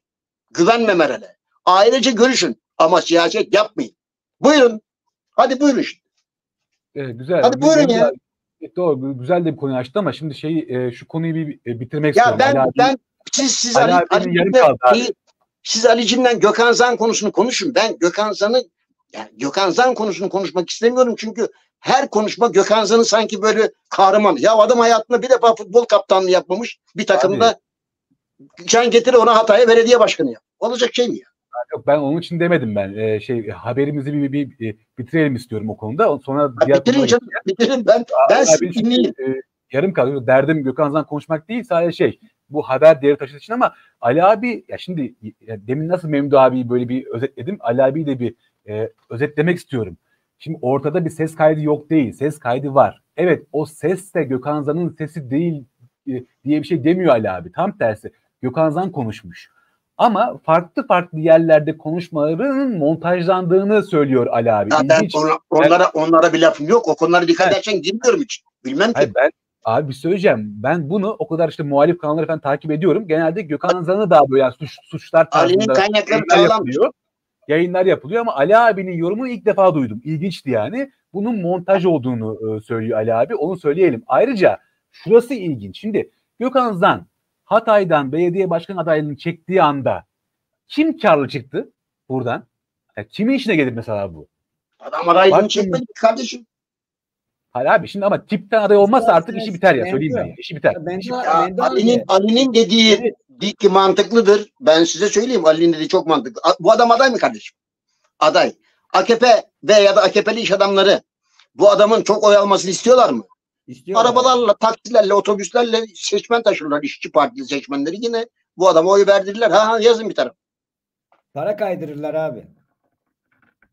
Yani her şeyi yaparlar Beş- kardeşim. Beşlik primi. Bak şimdi e, Ferit. Benim Gökhan anladığım- Zan kendisi ben çekildim demedikçe bu iş hava. Bak, ben Lütfü Savaş'ın adaylığı tartışılırken Gerçek TV'de ve sizinle yaptığım tüm programlarda Ferit ısrarla Lütfü Savaş'ın aday gösterilmesi gerektiğini ve Lütfü Savaş'la ilgili kampanyayı AK Parti'nin yürüttüğünü söyledim. Çünkü Lütfü Savaş karşısında seçim kaybediyorlardı AK Parti. Lütfü Savaş olmazsa Hatay'ı kazanıyorlardı. Şimdi bu gerçekliğin üzerine koyacağım olayı. Türkiye İşçi Partisi Gökhan Zan'ı aday gösterirken popüler kimliği üzerinden niye aday yaptı? Çünkü Gökhan Zan'ın daha çok oy alacağını ve doğal olarak da Türkiye İşçi Partisi'nin Hatay'da çok oy almış bir siyasi partiye dönüşeceği için yaptı. Ben bir şey sormak istiyorum. Dedenin gördüğünü yani Mendo abinin gördüğünü Türkiye İşçi Partisi'nin kadroları görmedi mi kurmayları? Türkiye İşçi Partisi Gökhan Zan'a aday çıkardığında Lütfi Savaş'ın ve doğal olarak CHP'nin ve doğal olarak Hatay'ın kaybedeceğini bilmiyor muydu ki şimdi fark etti. Benim itirazım buna bir, iki, Haklı itiraz. Haklı itiraz. iki. Hiç lafım. Türkiye İşçi Partisi Gökhan Zan'la oturarak Gökhan Zan'ı ikna ederek çekerlerdi. Neden biliyor musun? Çekerlerdi kardeşim. Çok net söyleyeyim. Siyaset dediğin şey uzlaşma ve ikna olayı meselesi. Bunu tip becerirdi. Ama ne oldu biliyor musunuz asıl olay? Gökhan Zan'ın kamuoyu nezdinde bu bildiri yayınlanarak hem onuruna yönelik bir zedeleme yaptıkları için şimdi inadına döndü olay. Ve bu saatten sonra Gökhan Zan'ı seçimlerden çekmek mümkün değil. Yani aslında bir sorunu çözerken keşmekeş haline dönüştürdüler sorunu. Uzlaşarak çözdüklerinde Türkiye İşçi Partisi'nin yaklaşık yüzde beş ile yüzde on arasındaki oyu Lütfü Savaş'a gidecekken şimdi başka bir şeye dönüştü. Başka Abi bir şey. soruna cevap geldi abi. Soruna cevap geldi. Şöyle geldi. E, ha- e, haberde gördüm. E, Tip Genel Başkanı Erkan Baş bu konuyla ilgili cevap vermiş. Demiş ki e, Gökhan Zan'ın ses kayıtlarına dair parti e, idarecileriyle yaptığımız toplantıda e, ben kazanamazsam geleceğimi düşünmek zorundayım dedi. Yani toplantı sırasında Gökhan Zan tiplere demiş ki eğer ben kazanamazsam geleceğimi düşünmek zorundayım diye bir cümle kurmuş. Bunun üzerine de e, bu bizim arkadaşlar için işin koptuğu nokta demiş Erkan Baş. Pekala, Yani evet. Gökhan Zan aslında toplantıda ya Erkan Baş'ın id- iddiası bu. Yani Evet. Erkan Baş'la Gökhan Zan bu krizler çıktığında aramasına rağmen telefonlarına çıkmıyor genel başkan. Arkadaş şimdi ben size bir şey söyleyeceğim Ferit. Türkiye'de kendi ikbalini düşünmeyen siyasetçi mi var? Türkiye İşçi Partisi Hatay'da adayını çekerek kendi geleceğini düşünmüyor mu? Erkan Baş kendi ikbalini düşünmüyor mu? Ama abi bir Türkiye- dakika bir dakika buraya ama burada abi e, olay şu. Kendi geleceğimi derken açık yani şimdi Erkan Baş ne iddia ediyor? Gökhan Zan kendi ge- para. Para istiyor yani anladın mı yani? Para istediği için de artık bizim için bitti diyor Erkan Baş. Ben öyle anlıyorum bilmiyorum yani. Kendi geleceğimi düşünmek zorunda Ben de öyle anlıyorum. Ben, de öyle anlıyorum. anlamıyorum. Ben de aksine farklı bir şey anlıyorum. Ben öyle anlamıyorum. Nedeni şuradan dolayı biliyor musun? Zaten para meselesini ya kusura bakmasın ya.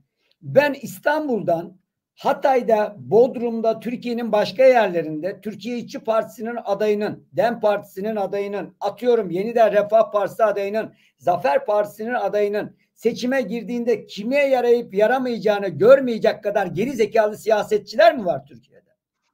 Ya bu siyasetçiler çok ileri zekalıydı onun için Türkiye bu halde. Söyleyeceğim abi seçim kazanma konusunda ileri zekalılar Mendo abi. Kurnazlar.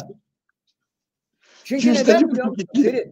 Türkiye'de siyasetçiler seçimi alabilmek için her türlü oyuna girerler kardeşim. Her türlü pazarlığı yaparlar. Ba- ya Orada hem fikiriz canım. Bak çok basit bir şey anlatayım. Ben şimdi size daha bir şey anlatayım. Mesela atıyorum İstanbul açısından söyleyeceğim. Şimdi ben İstanbul'da seçim kazanacak olsam yeniden Refah Partisi adayının, Saadet Partisi adayının, Deva Partisi adayının, Zafer Partisi adayının desteklenmesini gerektiğini bilmeyecek kadar aptal bir siyasetçi mi olurum?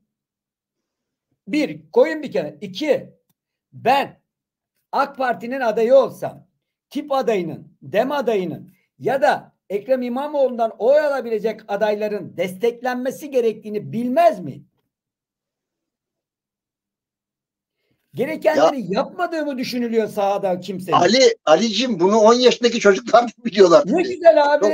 Ne güzel. İşte tam anlattığım ki Türkiye İşçi Partisi sanki Hatay'da aday çıkardığında AK Parti'nin bundan faydalanmayacağını düş, düşünmeyecek kadar sapmış. Öyle mi Mendo abi? Ay ya ki ben ben biz öyle bir şey demedik. Ne Ferit ne ben hayır bir hayır. şey demedik. Ben sen sen abi soru soruyorum Mendo abi. Saflar mı yani? Bilmiyorlar mı abi? Abi o en zaman e, başından en başından yanlış yapılmıştır.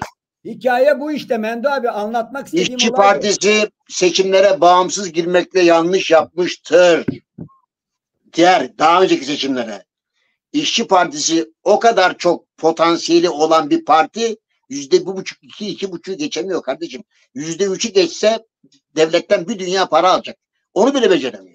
Abi E artık bu, bu, şu- bu, bu Abi- Gökhan Zan olayında tüy diktiler. Tüy, bildiğin tüy var ya. Ya, bak Ali abi, Ferit, Ferit, Ali abi, Ali abi ki, hem bak- Gökhan Zan haklı diyorlar. Ya benim anla ben ben empati yapıyorum arkadaşlar. Empati okumaya çalışıyorum. ben de onu Gökhan ben de abi onu sana soracağım.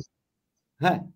Sana abi kilit soruyu soracağım abi artık yetti artık. Soruyorum. Ne demek abi? Yani Cum- Cumhuriyet Halk Partisi ile Türkiye İşçi Partisi kapalı kapılar ardında anlaşıp da Gökhan Zan'ı mı yediler abi? Net soruyorum anladım ya. Olay bu mu aslında yani?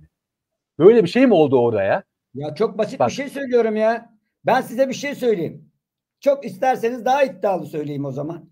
Gökhan Zan'ın bu videosunu kur- kurgulayan Turgay isimli akademisyen bu e, videoyu kime götürdü? AK Parti'ye mi götürdü? Lütfü Savaş'a mı götürdü? Hadi biri yanıt versin bana. Ee, Lütfiye götürdüğünü iddia ed- ediyorlar. Evet Lütfü Savaş'a götürdüler. Ya bunu bunu anlamak için yine çok saf olmak lazım. Anlamamak için pardon özür dilerim. Ve şimdi sen bana demin dedin ki muhalifteki muhalif olan kimi gazeteciler bunun birbirine montajlanmış olduğunu konuşmuyorlar dedin değil mi Ferit? Evet abi konuşmuyorlar. Niye Genelde hep, konuşsunlar? e, Fe- Niye konuşsunlar? Gökhan'ı Ferit? suçluyorlar. Gökhan'ı Niye su- konuşsunlar? Gökhan'ı suçlu. Niye konuşsunlar Ferit? Çünkü CHP'ye CHP'ye yakınlar diye diyorsun yani. Muhalif Neyse, partilerin, muhalif kanalların çoğu CHP'li. Lanet olsun ya.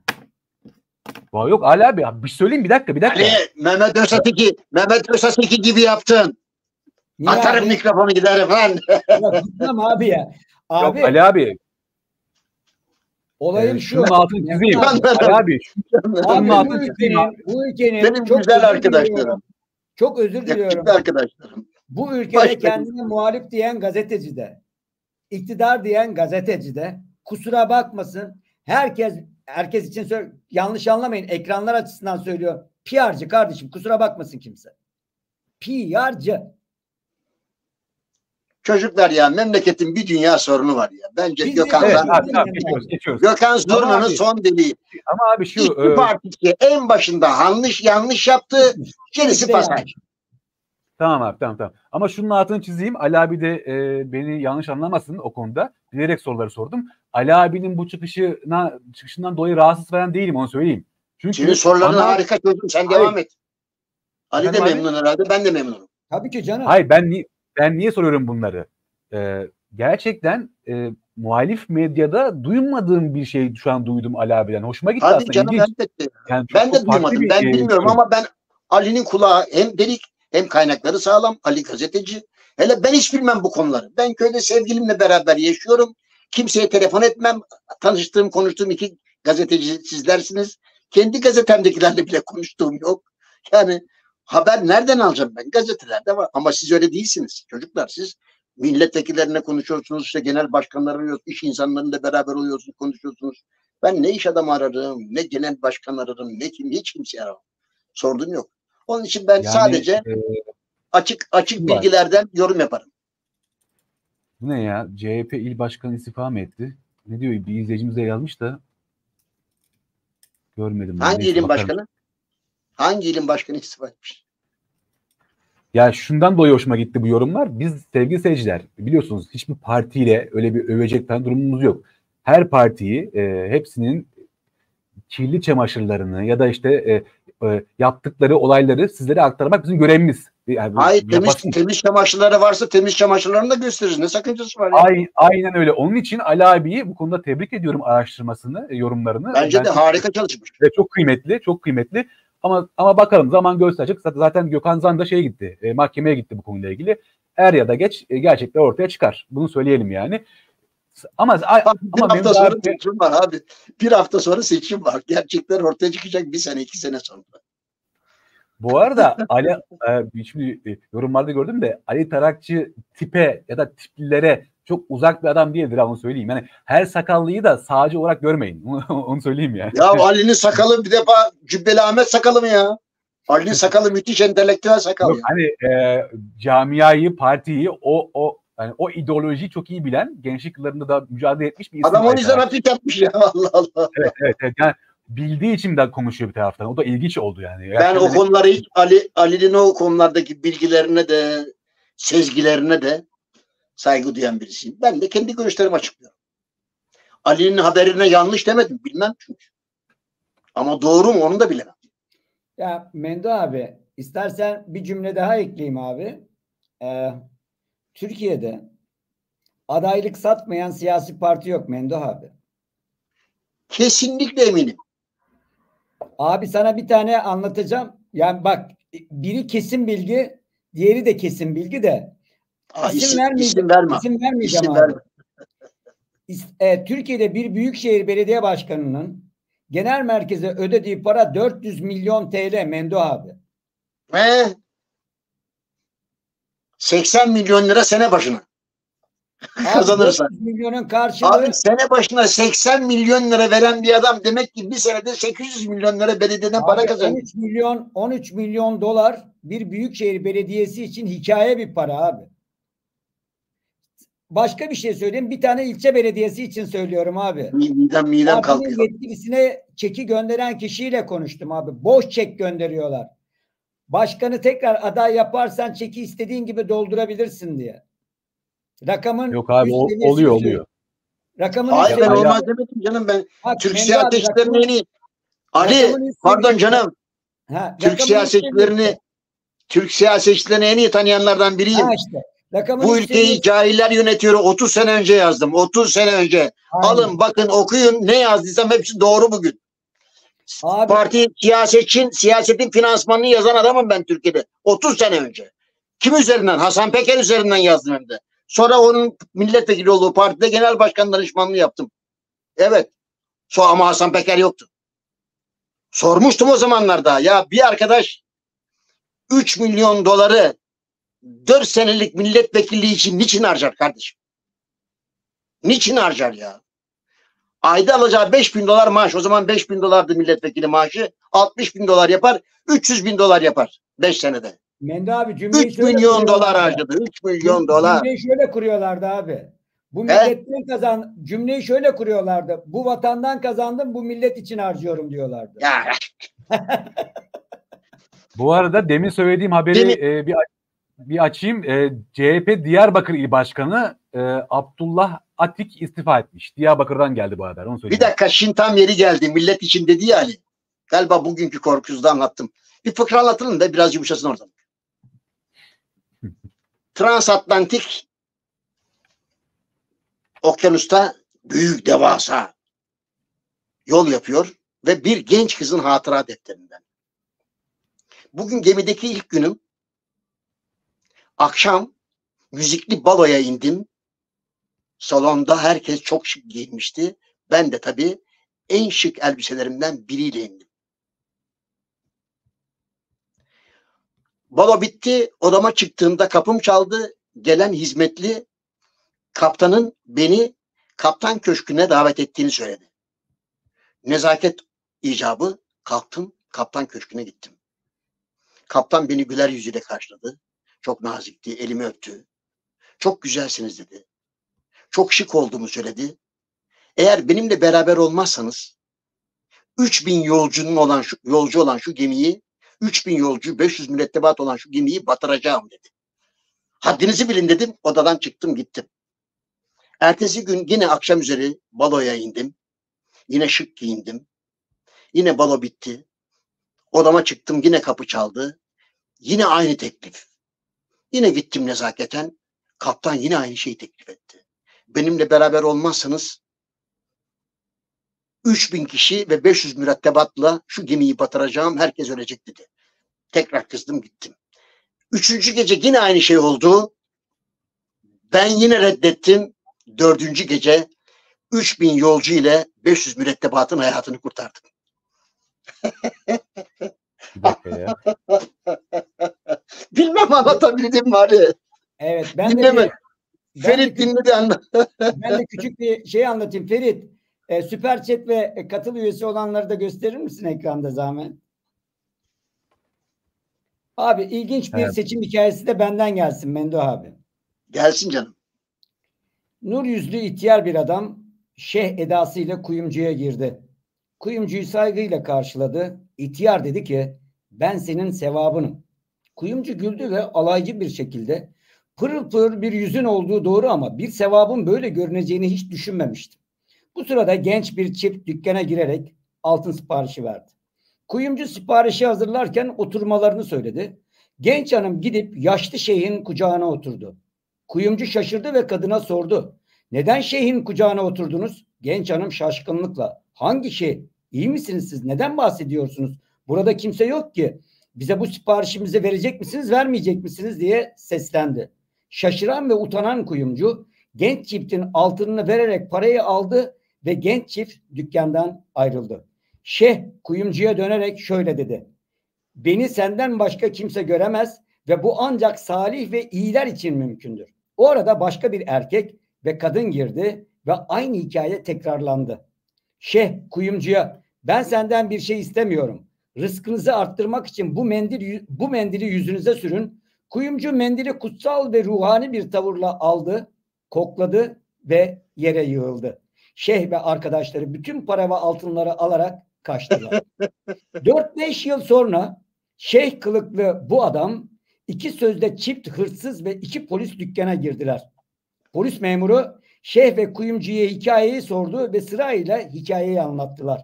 Polis memuru tabii ki sahneyi aynen tekrarlamalısınız dedi ve şeyh mendili kuyumcuya verdi ve kuyumcu koklayıp ovuşturdu ve anında yere düştü. Bu kez şeyh polis ve arkadaşları dükkanı tekrar soydular. Sonuç Her 4-5 yılda bir seçimler tekrarlanıyor ve biz millet olarak şeyh kılıklı soygucular tarafından aynı hikayelerle kandırılarak soyuluyoruz ve hiç de akıllanmıyoruz. Seçimler yaklaşırken altınlarınıza dikkat edin ve paralarınıza da dikkat edin. Kimileriniz onurlarına da lütfen dikkat etsin Menduh abi.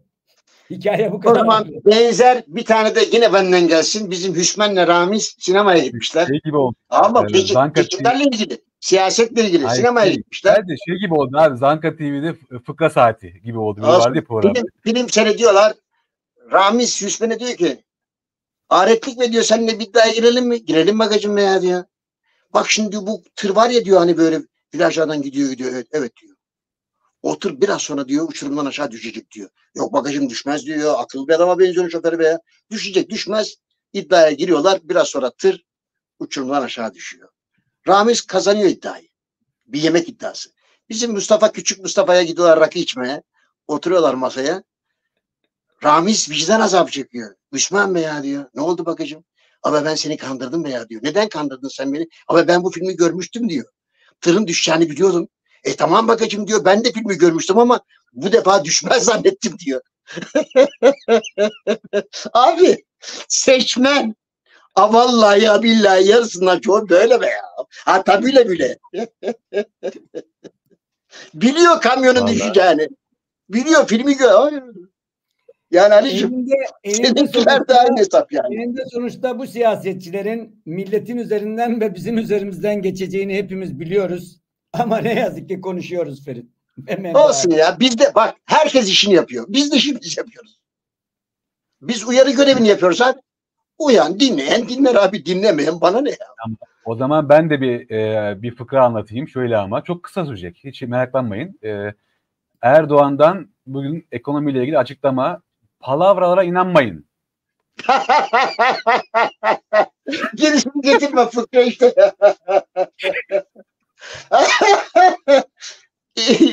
Bizim anlattığımız üç fıkradan da güzel bu. Vallahi öyle. Günün- Ben- Bu yılın fıkrası ya. Bir şey söyleyeceğim. Ee, Tabii İşte bu fıkra oldu mu abi tarihin bir noktasında kaldı tabii milattan önce. Bizim bir tane jölelerimiz vardı. Sonra çok göbek bıraktı. Diyordu ki dolar 3 lira olursa yüzüme tükürün diyordu. Millet hala tükürükten abi şeye geldi. 33 lira oldu doğal dolar ve e, şeye o e, jöleliye tükürük hakkımız hala devam ediyor abi. Yüzü, yüzü deriyle kaplanmıştır fark etmez. Şemsiye kullanıyormuş diyorlar abi. Belki de.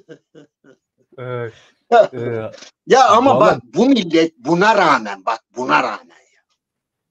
Ya daha ne diyeyim ya. Neyse boş ver. Başka Evet. şeyler geçelim. e, Ferit, şöyle yapalım. Evet, son Devam, gündem. devam. E, tabii e, benim fıkrayı beğendiği izleyiciler de farkındayım yani. Evet doğru. Ya süper ya. E, güldük, Yani eğlendik. Bizimkini E, beğendi, bizimkini beğenmedi yani. Bak bak bak bak bak. bak. Abi benimki kısa ve net oldu be. Hani Ama bu çok ya bu bence yılın fıkrası abi ya. Ama bak ben Ama diyorum abi onun onun abi devamı vardı. Palavralara inanmayın. Ekonomi gayet iyi. Fıkra. Abi ama ama esas ilk bölümü ikinci bölümü bay, başka abi. Abi yine e, geçen gün Erdoğan dedi ki İkinciyi ekonomi ekonomist olarak yorumluyor. evet. O ayrı. Geçen gün Erdoğan bir konuşma yaptı Mendo abi. Millete seslendi. Beni eleştirin. Acımasızca eleştirin. Gerçekleri yüzüme karşı söyleyin dedi.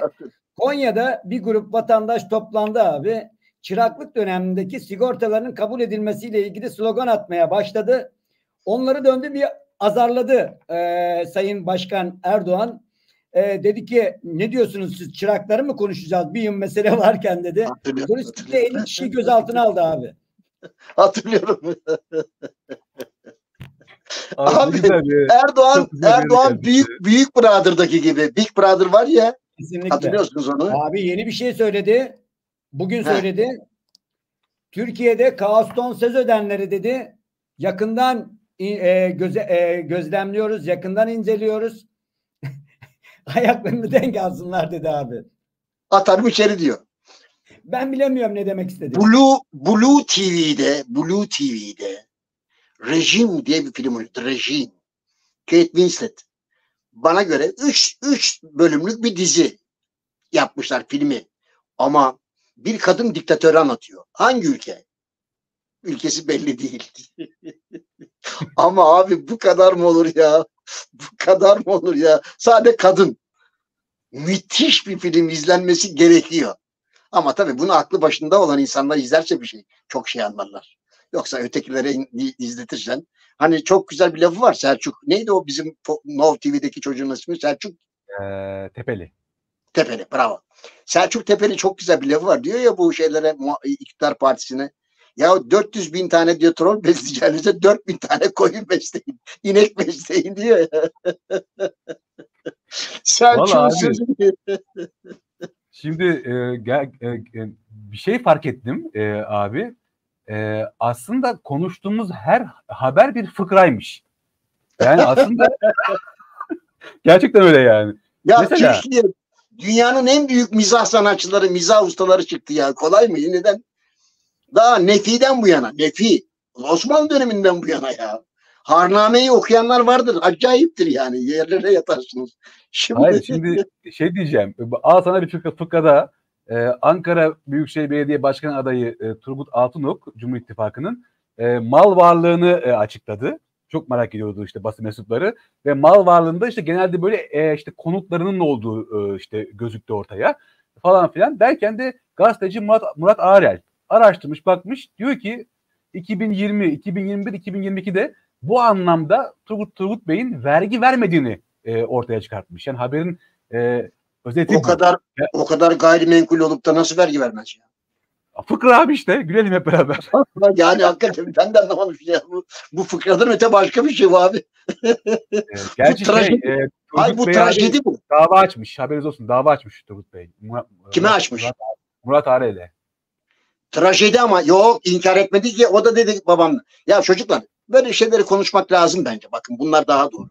Bu, bu, bu arkadaşın bu arkadaşın babası 1986 yılında Umre'ye giderken kaza geçirip Turgut'un annesiyle beraber karı koca vefat etmişler. Bak bu adam bu kadar servet sahibi de neden hacca gitmeyip Umre'ye gidiyor? Umre ucuz çünkü.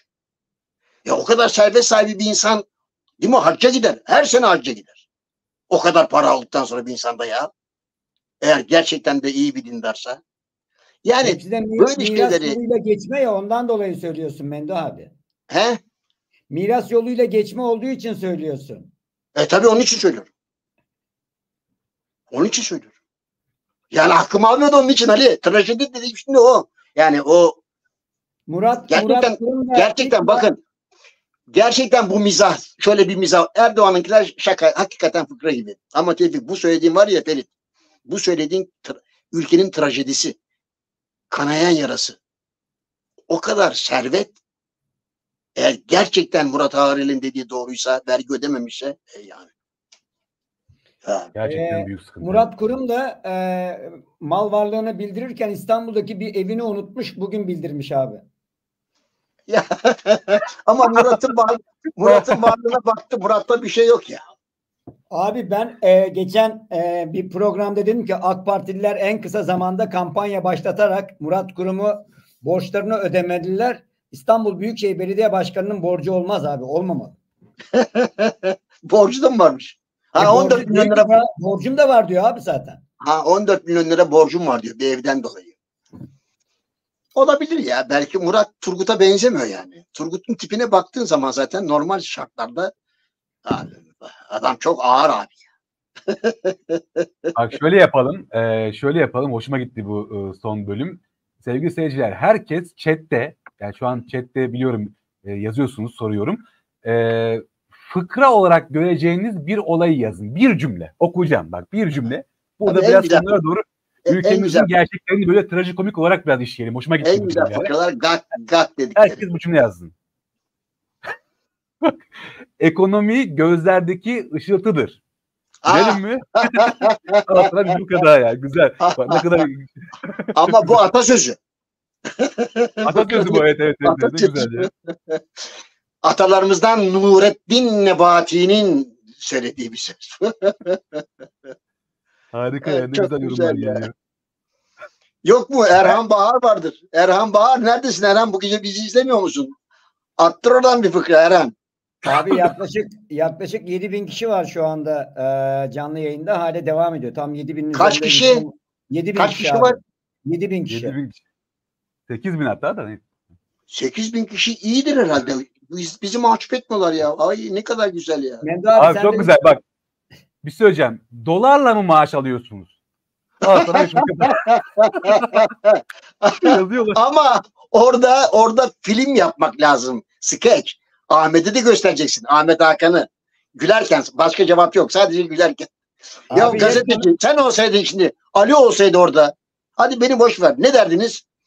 Sayın Bakan dolarla maaş almıyoruz ama petrol dolarla. Doğalgaz dolarla. Abi ka- evladım. rahmetli rahmetli Kamer Genç yakalanınca e, ne demişti abi? Çiçekleri suluyorum. Ya onunla ilgili çok tatlı bir anım var. Anlatabilir miyim? Müsaade misiniz? Abi. Abi Biraz şunu da daha söyleyeyim. E, Mehmet bak şunu, şunu da söyleyeyim. Hüseyin son, e, son cümlesiydi. Bu millet niye dolarla altın alıyor? Anlamıyorum ki. O da Mehmet Şimşek'in.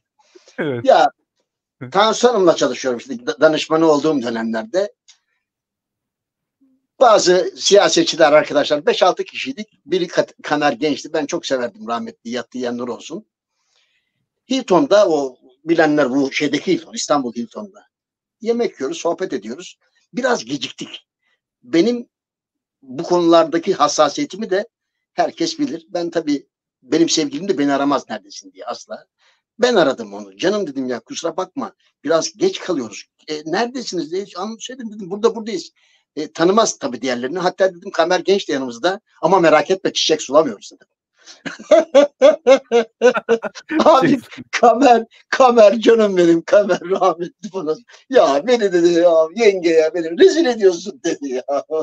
Dedim kardeşim senin adın çıkmış çiçek sulamaya. Ağzından kaçtı bir kere dedim senin ne olduğumu söylemek. Yoksa söyler miydim dedim yani. Ferit, Efendim. Ferit bir izleyicimiz göndermiş. Keşke ekrana verebilsen. E, Bak Tamam. ülkede doğalgazı satan firmanın adı Sokar. Elektrik sayacı markası Kökler.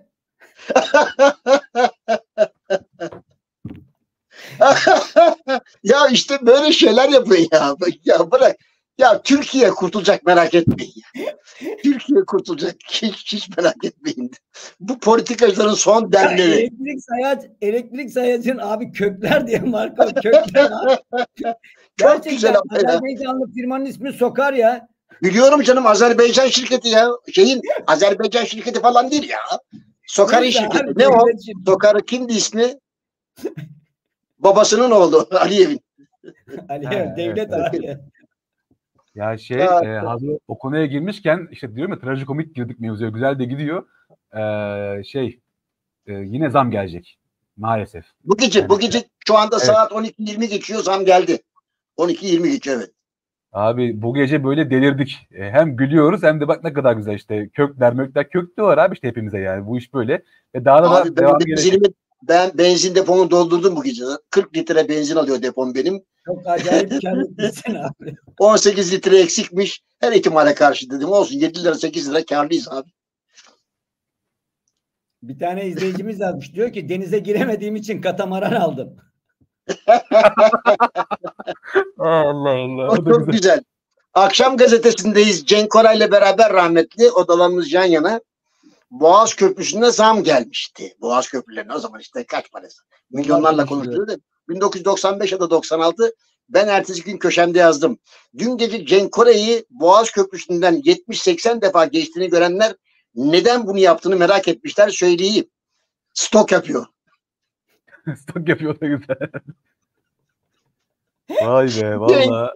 Cenk bayılmıştı buna. Bayıl ya başkası olsa kızar değil mi? Dedi ki ya bu kadar güzel mi olur ya? Bu kadar mı güzel olur? Hay Allah. Evet. E, valla yayınımızın sonuna doğru da böyle biraz hani e, güldük, eğlendik. E, bu da güzel. E, böyle olması gerekiyor esasında. E, e, trajikomik diyelim yani. E, Bak Ferit Bizim eskilerin yoluyla. çok güzel bak çok güzel lafları vardır eskilerin çocuklar. Allah gülmekten ayırmasın. Aynen öyle amin. Yani mizah yoluyla acı gerçeklerimizi anlatmak da ayrı bir şeydir. Ee, Elbette. tarzdır diyelim. Evet. Biz de bunu yapmaya çalıştık. Ee, Evet. Aynen. Evet, Aynen. maalesef ülkemizin durumu bu. Emre abi bir gün elektrikli araç kullananlar benzine ve mazota zam geldiğinde şunu diyebilirler mi? Bize ne mazota benzine gelen zamdan ki bize ben elektrik kullanıyorum. elektrikli araç kullanıyorum diyebilirler mi abi? Diyebilirler çok rahat. Abi bu ülkede ben hep Orada 50 fıkra diye- TL alıyorum dedi adamlar ya. Ben hep 50 TL alıyorum diyenler vardı ya hatırlayın ya. Ha şimdi yine 50 liralık kalsın. Hadi altın bakayım. Hadi al bakayım 50 lira. Bakkala kadar ancak gider. ya, Ya bu kadar neşeli, bu, bu kadar eğlenceli bir ülkede. Futbol eğlence. İş, iş dünyası aman Allah'ım ne eğlence. hem de. Siyaset zaten tam bir komedi. Mizah değil. Mizah güldürür ama düşündürür de acıtır da mizah. Bizdeki siyaset tam bildiğin komedi abi. Böyle bir milletvekilinin bir tanesi mahalle manavına uğramış. Tezgahta da bir tane kavun var. Manava seslenmiş. Kavun almak istiyorum demiş. Manav demiş ki seçin oradan bir tane beyim.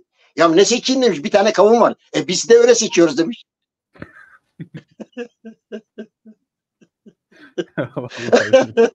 Ben kendi fıkraya daha çok gülüyorum.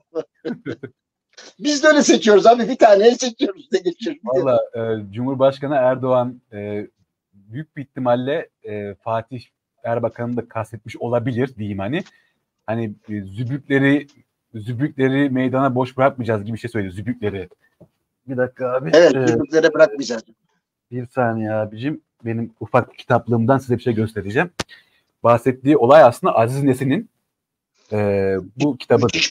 Müthiş, bir kitaptır. Daha çocukluğumuzda okumuşuz biz bunu. Aynen öyle. Bu filmini, filmini göstermiyorlar artık. Bunun Hayır, filmini abi- çekemediler. Uzun zaman sonra Hulki Saner ya da kim çekti Ertem Eğilmez mi çekti? E, şey oynadı değil mi? Zeki Kemal Sunal oynadı. Evet ve o Zübük e, karakteri e, uyanık bir karakter. Ta köy ortamından e, çıkıp yola Cumhurbaşkanlığına kadar giden Ya. ve halkı halkı da böyle kandırarak söylemleriyle işte Evet. e, cümleleriyle e, e, halkın böyle e, nasıl söyleyeyim işte bir tarafta boşluklarını, saflıklarını da görerek Din, Evet. din duygularını. evet, din duygularını çok, oynayarak çok bilhassa din duygularını çok istismar eden biridir Zübük. Kendisinin aslında ne namazla ne dinle ne Allah Allah ne kitapla işi var. Ama ama bir görsen tesbih elinde böyle bu bıyıklar falan filan tam bir Zübük işte yani. Ya bir izleyicimiz müthiş bir şey yazmış Ferit. Diyor ki e, Kaya kirayı ödeyemediğinizde ev sahibi kapıya dayanırsa mülk Allah'ındır deyip kapıyı suratına kapatıyor. Çok güzel oldu. İşte bak ya yaratıcı zeka. Bugün bugün benim sevgilim de e, olduğu resim ressamların sergisi vardı. Muğla'da belediye şeyde Atatürk Kültür Merkezi'nde hatta ayrılan ayrılacak olan görevi biten belediye başkanı da o dedi. Gerçi hiç konuşmadık. Ama orada çok güzel sohbetler oldu. Ressam hepsi yaratıcı zekalar ya. Öyle resimler yapılmış ki Ali, öyle resimler Ferit. Yani ressamlar bence gerçekten tanrısal nimetlere sahip insanlar ya. Heykeltıraşlar da ressam öyle olduğu abi. için söylemiyorum bunu. Yani aman Heykeltıraşlar ne da öyle. güzel. Efendim? Heykeltıraşlar da öyle abi. Evet tabii heykeltıraşlar da öyle. Heykeltıraşlar da öyle. Bu Ahmet arada, Güneştekin e, mesela. Ahmet Güneştekin harika bir adamdır. Müthiş bir adamdır. Burada e, e, Ahmet abi, Güneştekin. He? bir bir şey ek- eklemek istiyorum burada. Lafını kestim de Ekle. şey e, ben hiçbir siyasetçiye e, zübük benzetmesi yapmadım onu söyleyeyim. E, ama e, halk neyin ne olduğunu biliyor. Onu söyleyeyim sadece. Yani bu filmi de izleyenler, e, kitabı da okuyanlar anlar yani. Hayır, kimin Ya zübük de zübüğe daha yakın olduğunu anlar. Ama hani e, Er- e, Erdoğan bunu niye söyledi durup dururken e, o da ayrı bir şeydir. E, ben e, sosyal medyada Fatih Erbakan'la kavgasından dolayı olduğu iddiaları vardı. Ondan dedim. Onu söyleyeyim. Yoksa, yoksa Ama bir dedim. iddia daha var. Bir iddia daha var. Erdoğan bunu söylerken karşısında ayna yokmuş yani. Bunda samimi, ola- samimi olabilir. Evet. Ya şöyle diyelim. Zübükler yani zübükler e, aslında günümüz siyasetinin de e, bir e, göstergesi. Yani öyle, böyle okuyalım olayı. Yani kişi, kişiler olarak değil ama günümüzde maalesef Türkiye'de siyaset böyle kandırmaya dayalı, söylenmeye Ama- dayalı, istismara dayalı gidiyor evet. birileri birileri bir mı etmiş ne yapmışsa yani Allah Türkiye'yi zübüksüz bırakmasın demiş sanki. Bana bana öyle geliyor. Onun için hiç hiç eksilmiyorlar. O Bu arada ben e, Mendo abi bir izleyicimiz yazmış ki İslami sosyalizm kod adını kullanıyor. Üçünüz de yargılanacaksınız demiş. inşallah ben zaten yargılanıyorum.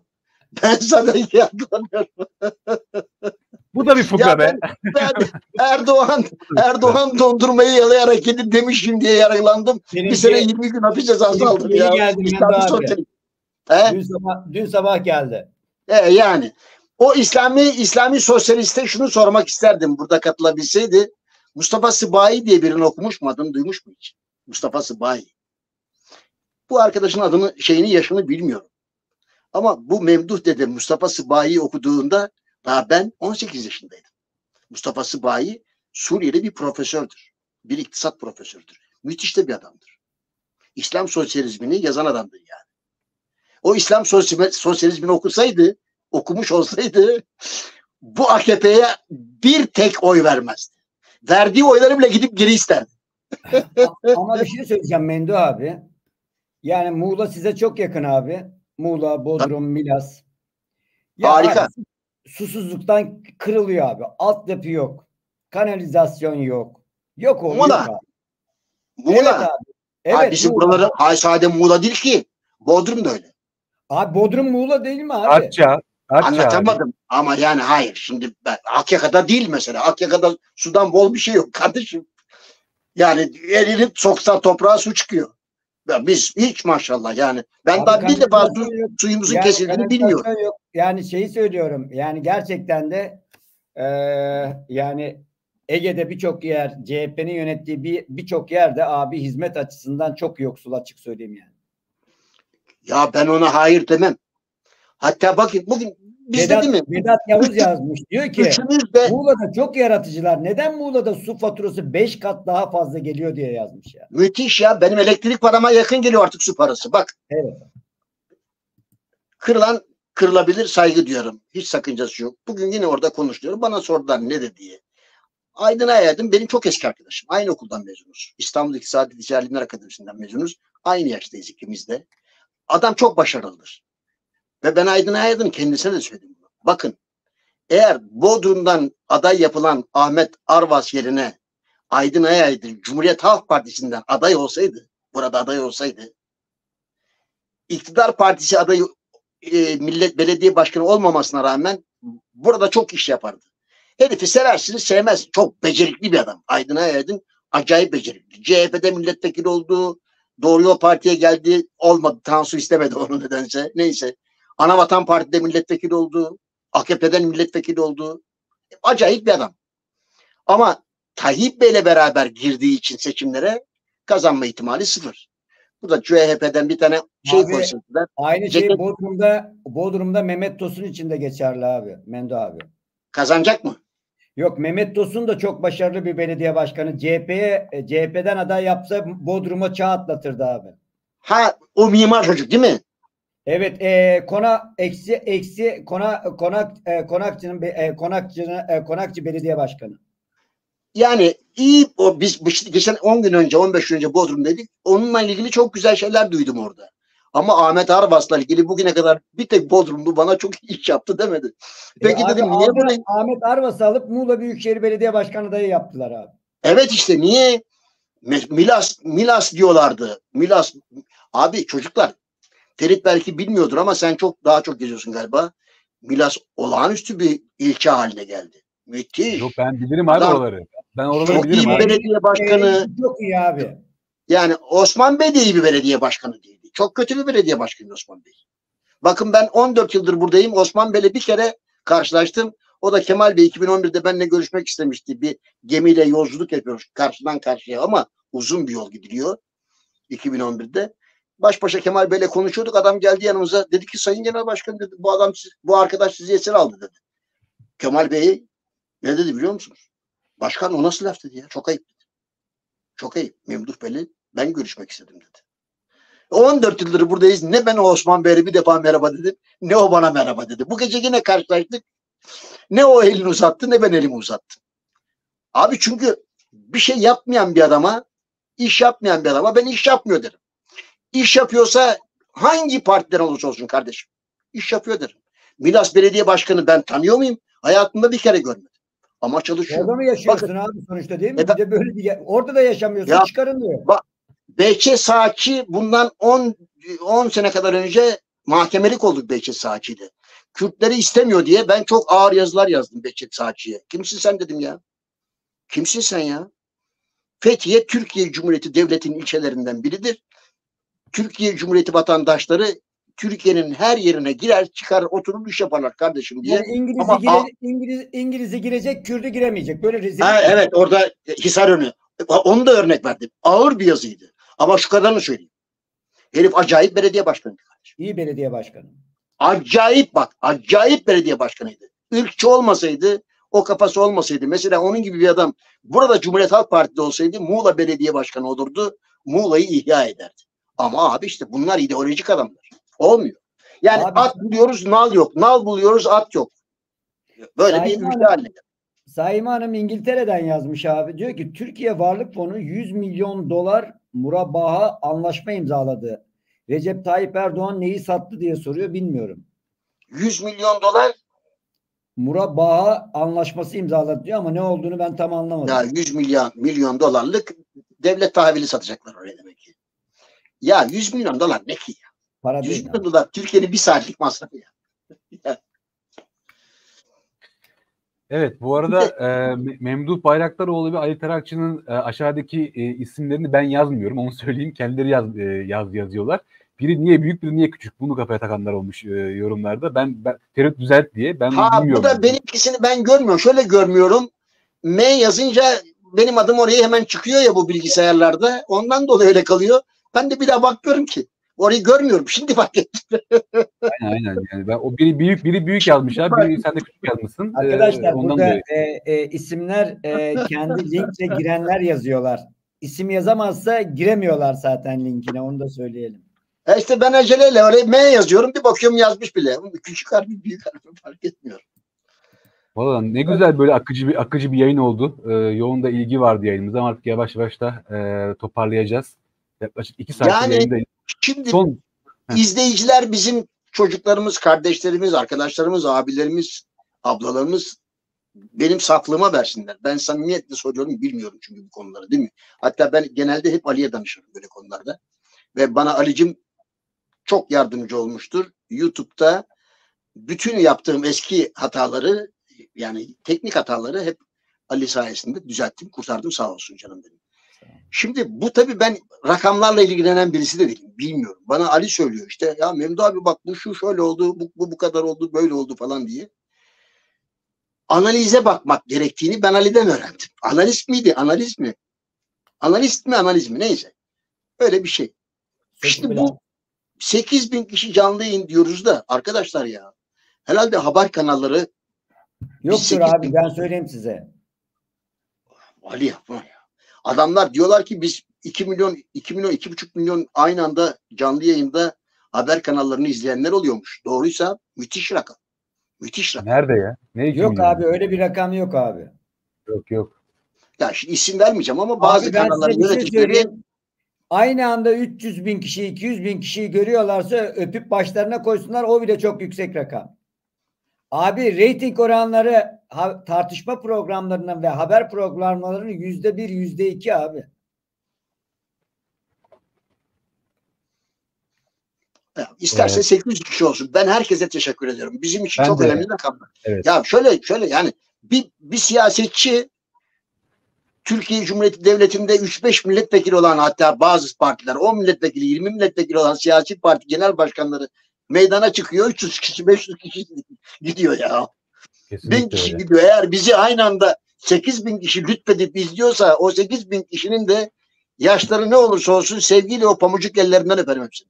Ne E, güzel. abi bir şey söyleyeceğim. Saygımdan Bir dolayı. şey- bunun bir sebebi var abi. Evet yani işimizi yani, e, bir taraftan da işimizi iyi yapmaya, en iyi şekilde yapmaya çalışıyoruz e, elimizden geldiğince. E, bunu bunu söyleyeyim ama diğer taraftan da ben insanları anlıyorum. E, ben de öyleyim çünkü. E, iktidar ya iktidara yakın kanallar zaten e, yani izlenmiyor reyting olarak. Ama e, muhalif kanallar da son dönemde bir e, güven kaybına uğradılar. Ben bunu gör abi belli abi bu yani. Ve ne yapıyor işte ya iki tarafında seçmeni YouTube'a kayıyorlar ve burada kendilerine daha samimi olan insanları da izlemeye başlıyorlar. İşte onlardan bir tanesi de biz olduk. Çok sağ olun gerçekten sevgili seyirciler. Çünkü hani yani e, insanlar artık güven duymuyor. Ya bir, diyor ki bir taraf diyor AK Parti'nin diyor işte e, propagandasını yapıyor. E diğer tarafta CHP'nin yapıyor. Anladın mı? Ben diyor ha, haberi öğrenmek istiyorum. Ya da gerçek bir yorumcuyu dinlemek istiyorum diyor. Ben onları anlıyorum ya gerçekten. Ve burada bizim gibi böyle tarafsız e, her iki iki e, tarafı da ha şu var. Güç sahibi kimse onu eleştiririz. İktidar. Ya hayır ama evet. bak Mendo ama, abi, ama muhalefet Mendo abi, Mendo abi, ama Mendo abi. adam doğru yapmışsa güç sahibi de olsa bana ne ya? Mendo abi şu anda 7 bin kişi var abi. 7 bin kişi yani sizin anlattığınıza göre çok müthiş bir rakam. 3 3 kanalda. Neden çok büyük rakam? Ben bazen bakıyorum mesela bu e, günde 500 bin 600 bin izlenen arkadaşlar da canlı yayın yapıyorlar. E, isimleri gereksiz. Ama canlı yayınlarına bakıyorum öyle 1500 kişi 2000 kişi falan da onlarda yani. Öyle çok yüksek. Canlı yayın kolay değil çocuklar ya. Canlı yayın çok zor ya. Ferit ne gülüyorsun? Bir şey mi fıkra mı geldi? evet abi fıkralar geliyor valla. Neyse görüyorum da. Ee... Harika ya. Nerede? Ha bu şeyde mi geliyor? Bu sağ taraftan sola bakıyorum ben. Tabii, tabii. Sola evet, sen görebilirsin insanlar... abi. E, akıyor sürekli olarak. İnsanların Ali ben büyütüyorum ya ekranımı uzakta ben de burada. Onun için şeye bakamıyorum. Kaç kişi geldi, kaç kişi gitti. Sadece sağ tarafı görüyorum. Onları görüyorum da bakıyorum çok hızlı akıyor maşallah ama ya. Çok hızlı akınca göremiyorum ne yazdığını. Evet. Şeyden konuşuyorum ben sizinle. Tabletten konuşuyorum çocuklar. Hmm. Görüntüm daha düzelmedi mi? Daha iyi olmadı mı Ali? Evet abi. Senin senin bu gece senin Ferit'in hep güzel maşallah.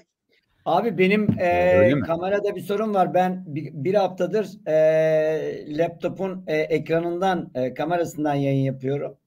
Kullanamıyorum kamerayı. Programda bir sorun oldu. Ama görüntün çok net Ali. E, şeyden e, laptopun kendi ekranını kullanıyorum abi kamerasını. Harika bir laptop. Markasını söyleme reklama Demin neye güldüm biliyor musun? Sizinle, ee, sizinle, sizinle sohbet etmekten büyük keyif alıyorum çocuklar ya. Ya demin de, demin de, ben tabii burada bir bakıma yalnız bir insanız. Biz sevgilimden böyle eş dostlar az görüşebiliyoruz. Bir de tabii benim yazılar çok vaktim alıyor. Korkusuzdaki yazılarım. Neredeyse bir sayfaya yakın yazıyorum.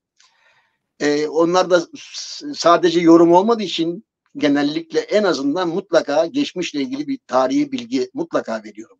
Ki o en az 2500 vuruş oluyor. Her gün 6000-6500 vuruş yazı yazıyorum. Ali kolay değil ya. Sen Ali bu iş daha iyi bilirsin. Harika. Abi ben e, her gün ez, eskiden her gün günlük yazı yazıyordum. YouTube'a başladığımdan beri günlük yazıları bıraktım Mendo abi. İki tane canlı yayın yapınca şey yapmıyorum yani söyleyerek ifade ediyorum. Ben de ilk günlerde dört tane video çekiyordum günde ama o zaman korkusu da yazmıyordum.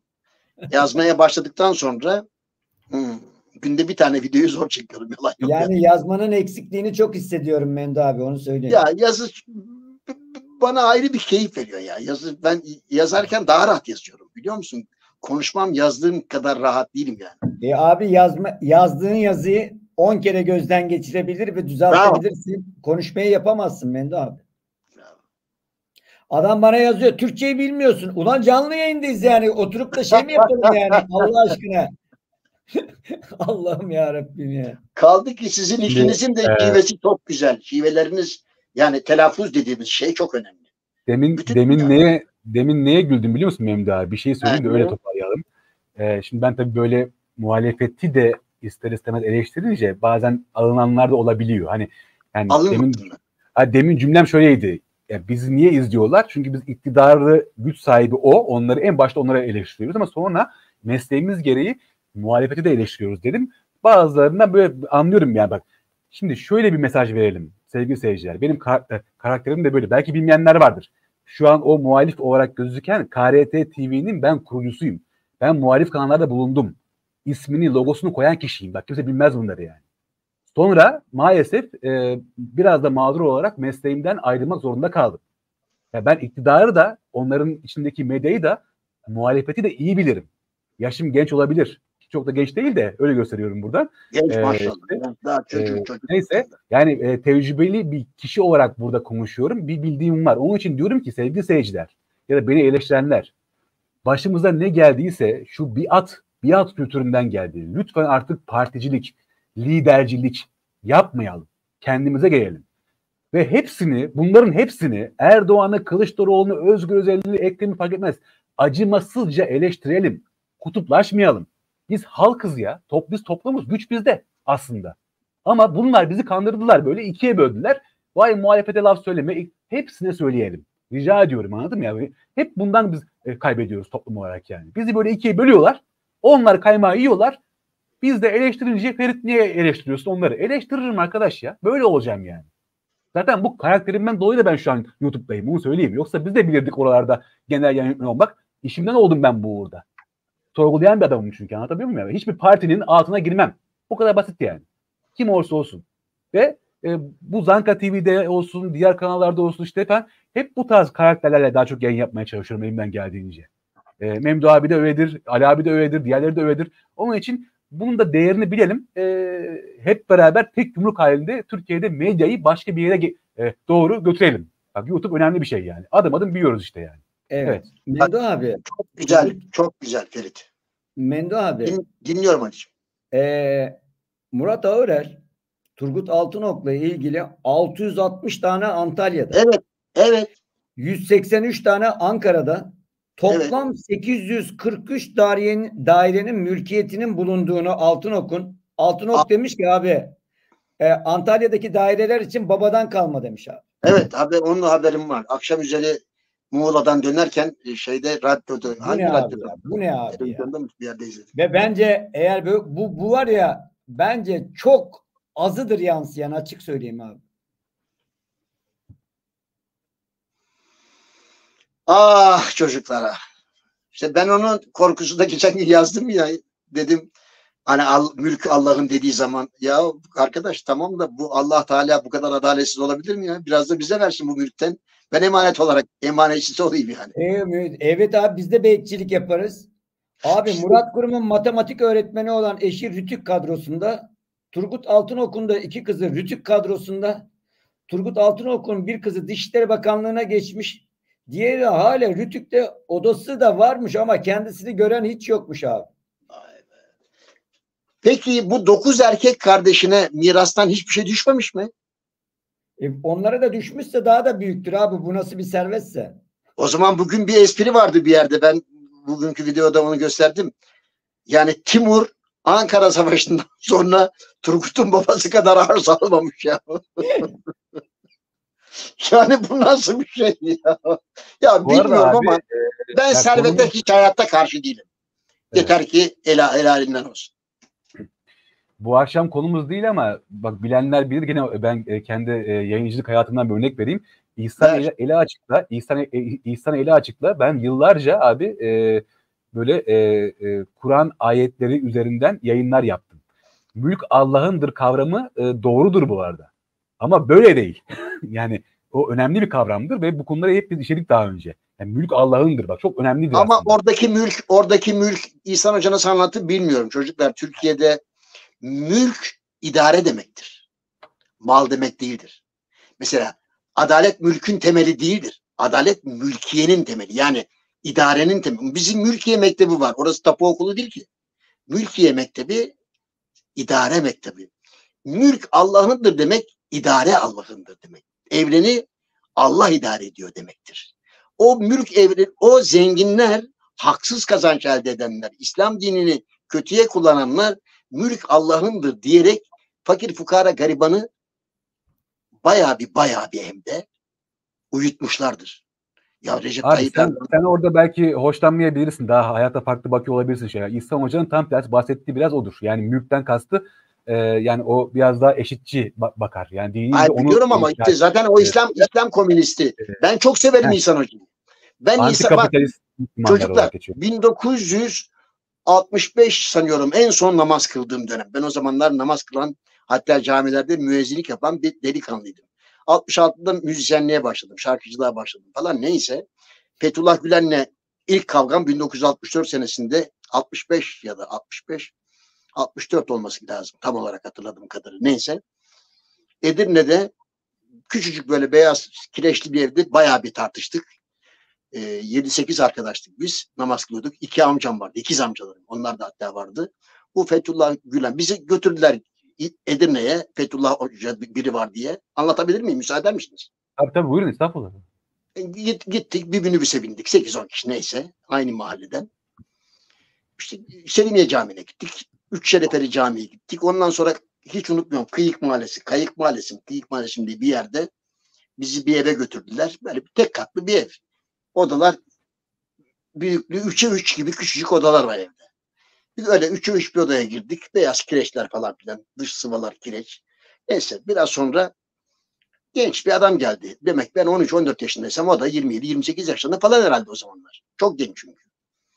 Hatta aramızda gülüştük. O zamanlar tabii biz daha ergenlikte ergenliğe yeni giriyoruz. Tom Mix Texas falan okuyoruz. Hiç unutmuyorum. Şimdiki gibi gözümün önünde. Bir tane bulsam fotoğrafını o zamana ait desinler ki yalan söylüyorsun. Görmedim. Yok fotoğrafı. Fethullah Gülen Tom Mix gibiydi saçlar. Siyah. Buradan böyle ayrılmış. Buradan böyle böyle falan. Biraz Ali'nin saçları gibi yani. Bir adamdı. Aa Tom Mix'e benziyor falan dedik aramızda gülüştük. Neyse.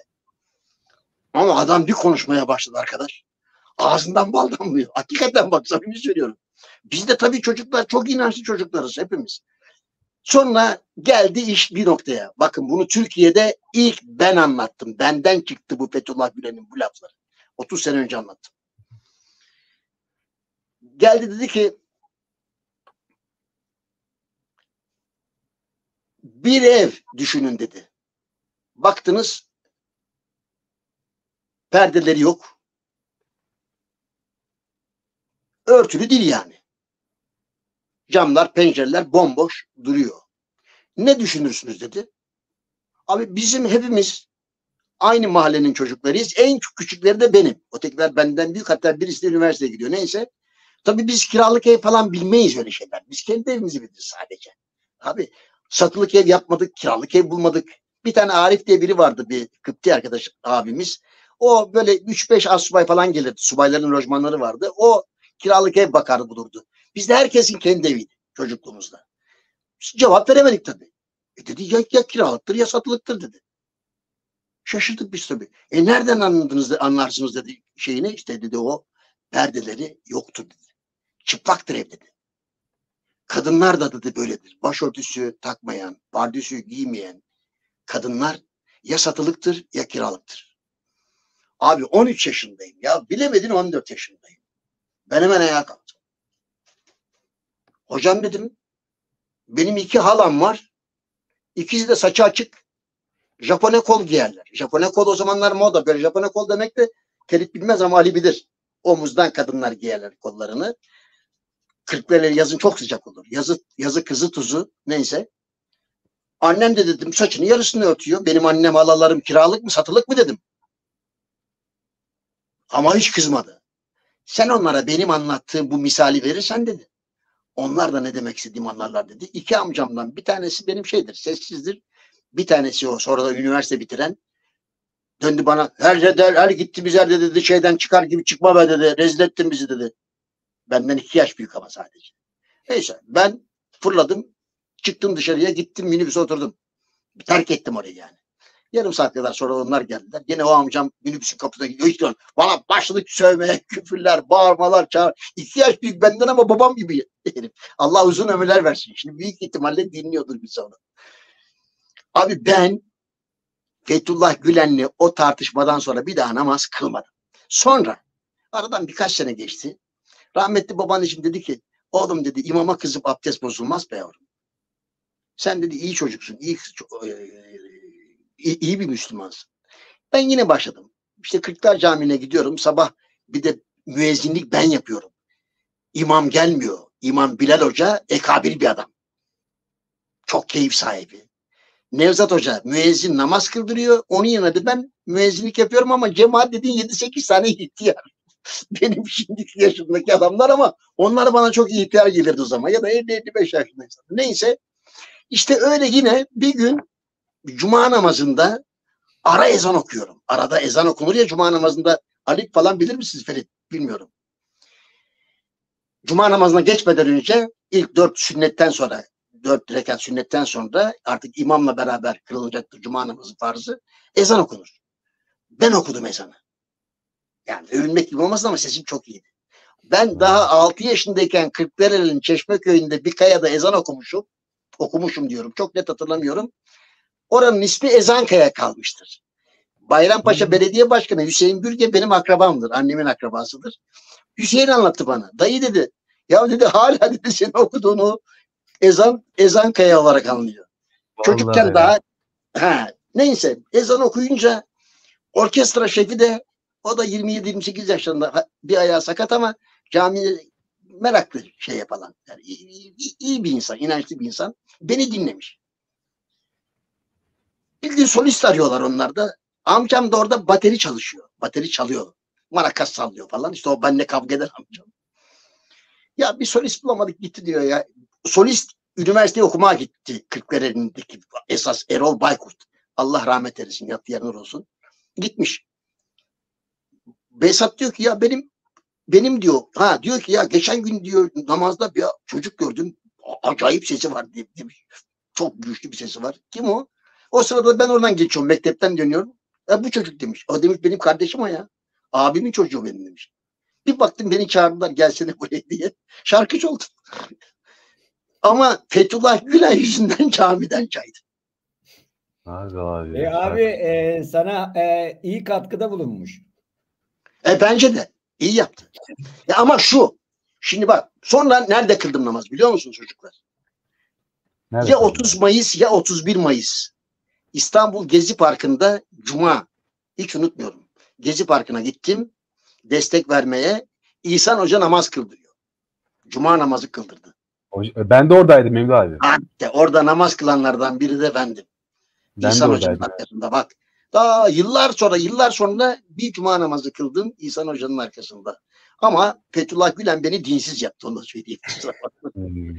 Şimdi e, Ferit e, Memduh abinin üzerine bu e, Turgut Altınok'un babası bekçiymiş bilgin olsun. Mülkün Oo, bekçiliğini. Ne güzel bekçiymiş. Allah'ın sevgili kuluymuş belli. Abi işte mülkü, mülkün bekçiliğinden Ona... Turgut Altınok'a devir olmuş miras ha, Emanet onlar hakikaten o zaman evet ya. Abi. Evet. Ha. Şimdi Bak, iyi ki bunu öğrendik ya. Evet. Çin birkaç gün önce dünyanın en uzun otoyolunun son bölümünü tamamlayıp hizmete açtı ve tüm dünyada haber oldu. İngiliz basını otoyolun tamamlanmasını haber yaparken İngiltere'nin kuzeyinden İspanya'nın güneyine kadar diye tarif etti yolun uzunluğunu. Çin'in başkenti Pekin'i Urumçi'ye bağlayan ve altı bölgeden 500 kilometresi Gobi Gölün çölünden geçen yol aynı zamanda dünyanın en uzun karayolu tünelini de içeriyor. Yer yer dört yer altı şeritli olan yolun toplam uzunluğu tam tamına 2500 kilometre. Bağlantı yolları ile birlikte yapılan imaratın toplamı 2800 kilometreyi aşıyor. Yaklaşık 10 yıldır parça parça tamamlanarak açılan ve Çin'in hayli gurur duyduğu Beijing Urumqi Ekspres yolunun maliyeti de belli olmuş Mendo abi Ferit. Tam tamına 2,5 milyar dolar. İngiliz medyası bunu da duyuruyor. 2540 kilometre 2,5 milyar dolar. Peki bu ne demek? Biliyorsunuz Türkiye'de bir süreden beri kamu özel işbirliğiyle yollar, köprüler yapılıyor. Yani özel sektör yapıyor, halk üzerinden geçerken ödüyor, eksik kalırsa hazine tamamlıyor ve hep eksik kaldığı için hep hazine tamamlamak zorunda kalıyor. Yani halk bir daha ödüyor.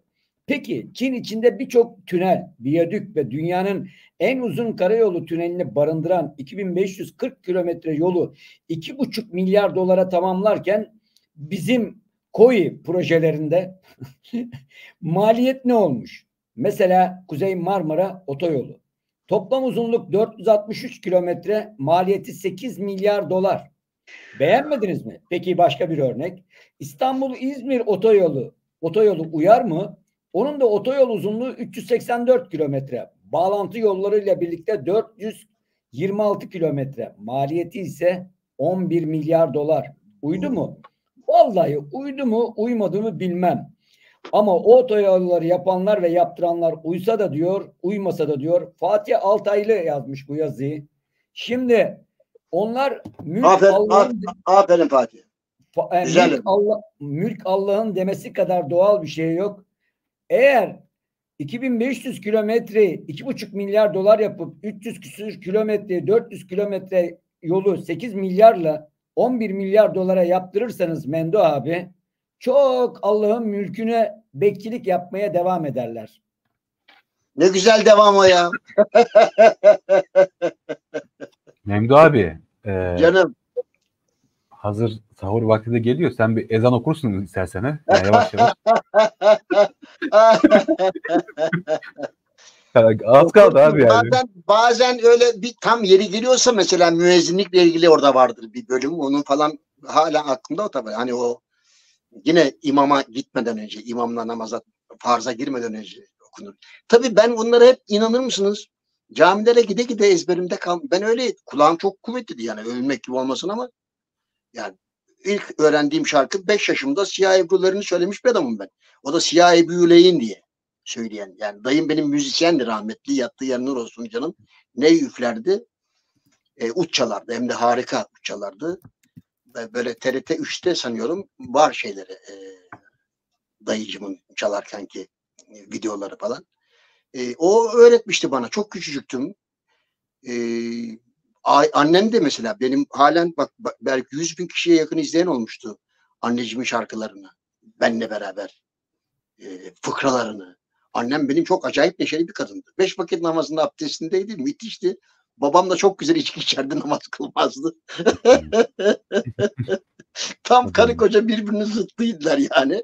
Ya Ama abi tam, tam kapatacağım. Bak konu konuyu açıyor da toparlayacağız artık yavaş yavaş. Son bir şey daha açayım. Hani e, hani her haberi konuştuk ama sen bak Memdu abi geçen hafta demiştin ya Ferit sonlara doğru bir farklı bir kuşak gelmiş. Mesela atıyorum sporla ilgili de haberlere girebiliriz diye söylemiştin ya. O, o güzel bir, bir hakikaten. Gir- Girin, girin, Abi girin, girin. Şu, şu Trabzonspor Fenerbahçe maçı olaylarına ne diyorsun? Bu nasıl bir rezalettir abi ya? Ben- Rezalet ya. Ne, ben ne- utandım buna- abi izlerken ya. Sahaya girdiler falan. He?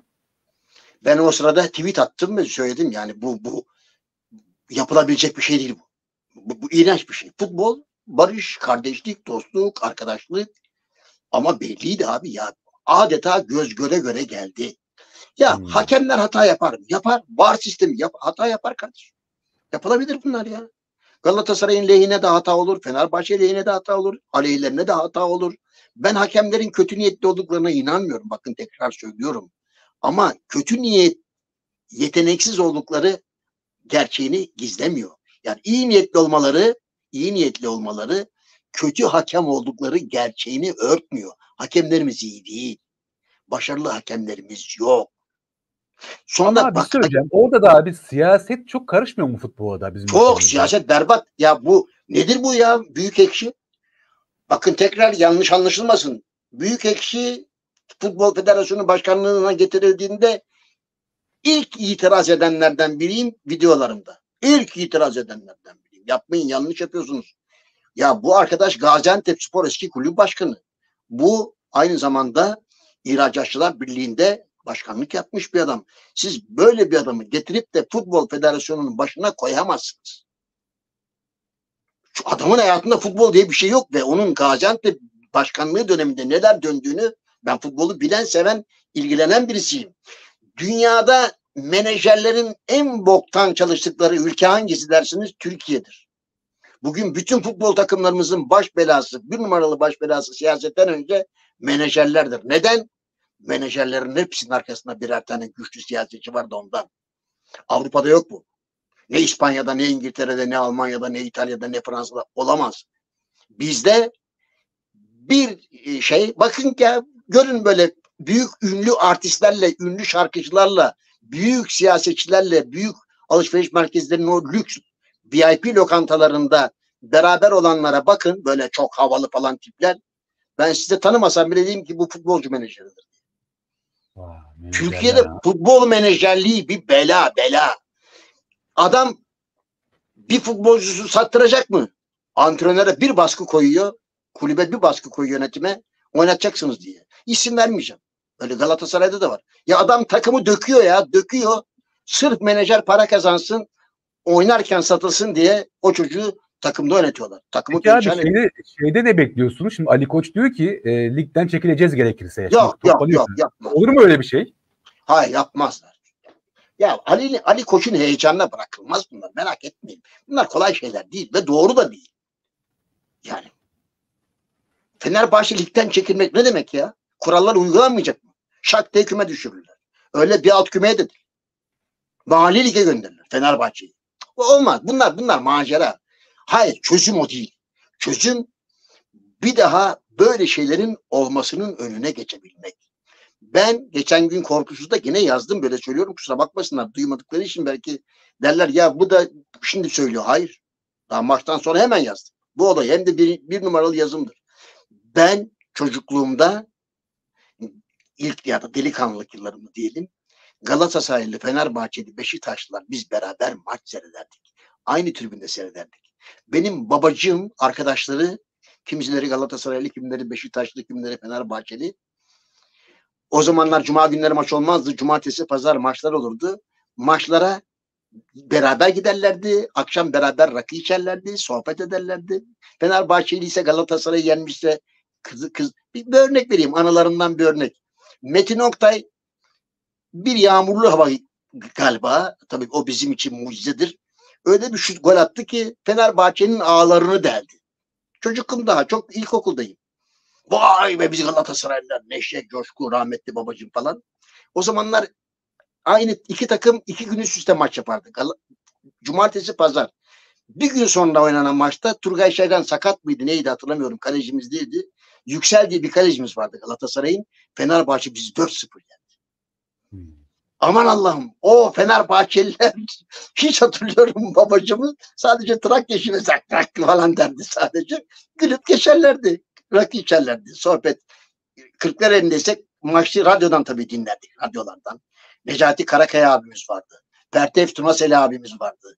Maçları onlar anlatırlardı. Halit Kıvanç sonra çıktı yani. Benim Ama abi demek, demek ki abi o yıllarla bu yıllara arasındaki farkı şöyle okuyabiliriz. Bak yine ben şeye bağlayacağım siyasete. Yani şu an nasıl toplumu böldüler ikiye. e, artık herkes birbirinden nefret eder hale geldiler. Ya insanlar artık komşusuyla kavga ediyor. E, siyaset yüzünden. İşte CHP'li, AK Partili falan gibi ya da işte bazen işte sekülerler, işte muhafazakarlar gibi ayrı, ayrıldılar bizi. Şimdi futbolda da yine siyaset devreye girince abi e, yani birileri şımarabiliyor ister istemez. Bu normaldir. O zamanlar Tabii. siyasette de bölünmüşlük yoktu canım. Bakma sen. Tabii, Vardı. tabii yok, yok. Demokrat Parti döneminde vardı ama onu da çok net hatırlıyorum. Ama 27 Mayıs'tan sonra Cumhuriyet Halk Partililer, Adalet Partililer hatta MHP o zaman Milliyetçi Hareket Parti yoktu da Cumhuriyetçi Köylü Millet Parti vardı. Otururlardı beraber yemek yerlerdi, sohbet ederlerdi, içki içerlerdi. Yani benim eniştem Cumhuriyet Halk Partiliydi, babacığım Adalet Partiliydi. Adalet Parti kurucusuydu. Ama hiç öyle kavgalar mavgalar. Siyaset yapıyor futbolu kötü. Futbol Evet, evet. siyaseti kötü yapmıyor. Mesela abi şeyde bile hatırlıyorum. Şimdi Trabzonspor'la Fenerbahçe yarışıyordu. Ya Trabzonspor şampiyonlar gidiyordu. Bu arada e, Trabzonspor'u Anadolu kulüplerini çok severim. Onu söyleyeyim yani. Ben de bir Ankara ucu e, taraftarıyım. E, Anadolu'yu severim yani. Onu, onu ayrı tutun. Ama e, siyasetçilerin mevzuya girmesinden hoşlanmıyorum ya. Hani hakikaten hoşlanmıyorum. Mesela Girmemeliler. Ferit. Abi Trabzonspor'un şampiyonluğunda bile hatırla bütün bakanlar statta böyle nispet yapar gibi kutlama yapıyorlar. Demiştim ki ya bu doğru mu acaba? Şimdi adam Trabzonspor olabilir ama ya dedim Allah Allah Cumhurbaşkanı devreye girdi, tebrikler yağıyor, işte Süleyman Soylu oradaydı, bütün bakanlar, Berat Albayraklar falan filan böyle. Şimdi bunu gören diğer taraftarlar ister istemez yani bir garip, ya bu futbol ya, yani bu kadar böyle gerek yok. Hiç Siz doğru işinize değil. bakın abi. Hiç, İşinize hiç. bakın abi siz ya. İşinize bakın siz değil mi abi ya? Siyaset futbolun dışına çıkmalı. Bak tekrarlıyorum. Menajerleri baştan çıkaranlar da yine büyük ihtimalle siyasetçiler. Çok para var o işlerde çünkü çocuklar. Bir futbolcu 10 milyon, 20 milyon, 50 milyon avroya %10 komisyon alsa 50 milyon avroda 5 milyon avro yapar. Çılgınca bir para bu. Ya. Türk futbolunu menajerler ve siyasetçiler el ele verdiler içine tükürdüler. Mahvettiler futbolu. Perişan ettiler. Bak, bakın takımlara ya. Bir kötü futbolcu kötü olmasına rağmen takımda ilk 11'de sürekli yer alıyorsa en azından ilk 40, 50 dakika 60 dakika bilin ki menajerin baskısıyla alıyor. Menajer diyor ki oynayacaksın kardeşim. Ben bu adamı satacağım merak etme işte. Şöyle bir fiyat bulacağım. Ama oynamazsa ben onu nasıl satayım diyor. Oynamazsa nasıl satayım dediği anda Yönetim de diyor ki antrenörüne ya koy bu adamı oynat diyor ya. Hı hı. O da diyor ya başkan adam oynamıyor ya. Ya o kardeşim satacak adam diyor para kazanacağız. Böyle şey olur mu ya? Mümkün değil. Yani umarız böyle olaylar bir daha olmaz ama gerçekten ben de izlerken bu arada o futbolcuların e, olayı yani taraftarlara uçan tekme falan attı bir tanesi şey e, forvet oyuncusu. O da yanlış. Ama yani o, Mesela onların abi cezası olur mu bilmiyorum ya da işte meşru müdafaa anlamında mı olacak mesela o hani, e, nasıl geçecek? Adam ya, üstüne geliyor. net müdafaya sokacaklarından eminim ve onu hafifletici sebep olarak gösterecekler ama Fred sanıyorum o uçan yanlış olan Fred'in uçtuktan sonra o saldırgan taraftar saldırgan mı onu da bilmiyorum. Başşuay abi. Başşuay galiba. Adam öyle bir- kaçıyor. O anda çocuk, o genç bir çocuk o. Kaçıyor. Bir de yere indiğinde acayip yumrukladı. Orasını göstermiyorlar. Onun devamı var. Olmamalı. Ka- kaçıyor mu yoksa saldırıyor mu? Orası Hayır. Baştan mı? belli ki saldırmış ki Fred, Fred ona gitti uçan tekmeyle. Ama Fred, Fred değil abi. Ya, bence Fred. Ya yok yok. Osay Samuel. O Sel Samuel yumrukladı evet. Osay Samuel. Ama yerde o adamı bayağı perişan etti yumruk. Ya neyse olmamalı gerek. Olmaması gerekiyordu ya. Vay be. Yere batsın böyle şampiyonluklar diye de yazdım o gün Twitter'da. Ya olmaz böyle şey ya. Fenerbahçe'de bizim takımımız, Trabzon'da bizim takımımız. Ama Trabzonspor Kulüp Başkanı hala kaşıyor. Gerek yok. Yatıştırmak lazım. Bundan sonra hepsinin 20 takımı, 20 kulüp başkanı, Süper Lig'den bahsediyorum. Oturacaklar, gelecekler bir araya el ele verecekler. Ve Türk futbolunun huzur içinde yürüyeceğine dair şeref sözü verecekler arkadaşlar. Aynı şey 1 Nisan'dan sonra siyasetçiler için de geçer. Recep Tayyip Erdoğan gerçekten dürüst, şerefli, ahlaklı davranacaksa çıkacak. Diyecek ki bir basın toplantısıyla kamuya var ya ulusal sesleniş. Bir 2017 senesinde başkanlık sistemine geçtikten sonra Türkiye ekonomisi 7 sene üst üste küçüldü. Biz bunu kabul edemeyiz. Demek ki biz yanlış yaptık. Ben yanlış yaptım demiyorum ama bu sistemi demek ki kabul etmemeliydik. O halde yapacağımız belli. En kötü koalisyon dönemlerinde bile Türkiye ekonomisi bir sene büyümemişse ikinci sene mutlaka büyümüştür. Ben Yüce Meclisi göreve davet ediyorum. Anayasa değişikliği yapsınlar. Cumhurbaşkanlığını yeniden eskiden olduğu gibi temsili cumhurbaşkanlığına döndürsünler. Cumhurbaşkanlarının herhangi bir siyasi partiye aday olmalarını, üye olmalarını yasak hale getirir. Eskiden olduğu gibi. Bunu diyebiliyor mu Cumhurbaşkanı? Recep Tayyip Erdoğan inanın bu millet onu affeder. Bakın bu millet ben ona inanıyorum bu millete. Bizler aydın insanlar. Aydın insanlarız. Aydın insan affetmeyi bilen insandır. Affederiz ama bunu yapmaz. inatlaşır. Aksine yine IMF'de gitmez. Faiz konusunda öbür konular hepsinde direnir. Ayak direrse ben varlık fonunu satarım.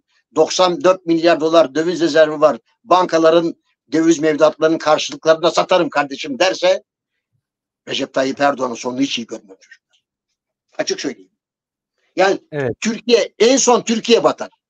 Recep Tayyip Erdoğan eğer zannediyorsa ki önce Türk şeyi Türkiye batar sonrası yeniden kurarız. Yo. Önce Recep Tayyip Erdoğan batar. Türkiye. Vallahi evet sevgili seyirciler ben yayının başında uyarmıştım. Baştan söyleyeyim. Bu yayının süresinin ne kadar gideceğini tahmin edemiyorum diye Bitirelim ya ben bitirelim ya. Hadi bitir. ben, ben ben onu ben onu uyarmıştım. Tahmin ettim biliyordum yani böyle olacağını. Ali, e, zaten, ama- Ali zaten Rodin'i şu anda Rodin'i bakıyor Ali. Evet hem Memduh Bayraktaroğlu'ndan hem de Ali Tarakçı'dan e, onların tecrübelerinden de faydalanarak tabii ki çok önemli bilgiler aldık. Hadi o zaman madem oldu olacak 3 saate tamamlayalım gidelim ya. E, toparlıyoruz abi artık yavaş yavaş ya. Bilmiyorum sen birisin de. E, e, işte, Çocuklar ekonomiden konuşalım biraz isterseniz. Benim de abi harikasın vallahi yemin ediyorum ya. Yani senin şu enerjin yok mu yemin ediyorum ya. Ee, biz yoruluyoruz. Benim de abi yorum ya abi ne yapacağız bilmiyorum ya nasıl olacak bu iş. Ee, harika valla Yavrum, benim de abi. Ya hepimiz genciz ya. Mehmet Şimşek beni ayakta tutuyor maşallah sağ olsun. Öyle Evet. ümit veriyor ki Bu ülkenin sorunları diyorsun. Evet, çok güldürüyor beni Mehmet Şimşek ya. Son günlerde en çok Mehmet Şimşek'e gülüyorum. Adam diyor ki ya ben anlamıyorum. Ben dolar Türk parası değerlenecek diyorum diyor. Ya Mehmet canım benim. Sen Maliye ve Hazine Bakanısın. Şaşırma. Piyasadaki finans danışmanlarından değilsin kardeşim. Bir hazine bakanı böyle şey söyler mi ya? Söyleyemez Ya abi. direkt manipülasyon ya. Doğrudan manipülasyon ya. Bu da fıkra işte. Diyorum ya. Bu E da fıkra tabii ya.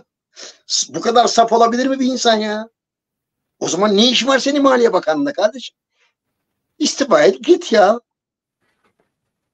Çocuklar Ha, bunun Memdu abi, Memdu abi. söylediğinden farkı yok. Memdu abi al sana soru. Madem öyle dedin ki yayını biraz daha uzun yapalım. Tamam tam da toparlıyordun aklıma geldi. Çünkü senin e, tecrübelerin de burada önemli. Biliyorsun. Bak Tansu Hanım'ı da iyi tanıyorsun. Al sana soru. Evet. Diyor ya Mehmet Şimşek ya ben diyor anlamıyorum bu millet niye dolar ve alt- e, dolar ve altına gidiyor diye alıyor diye.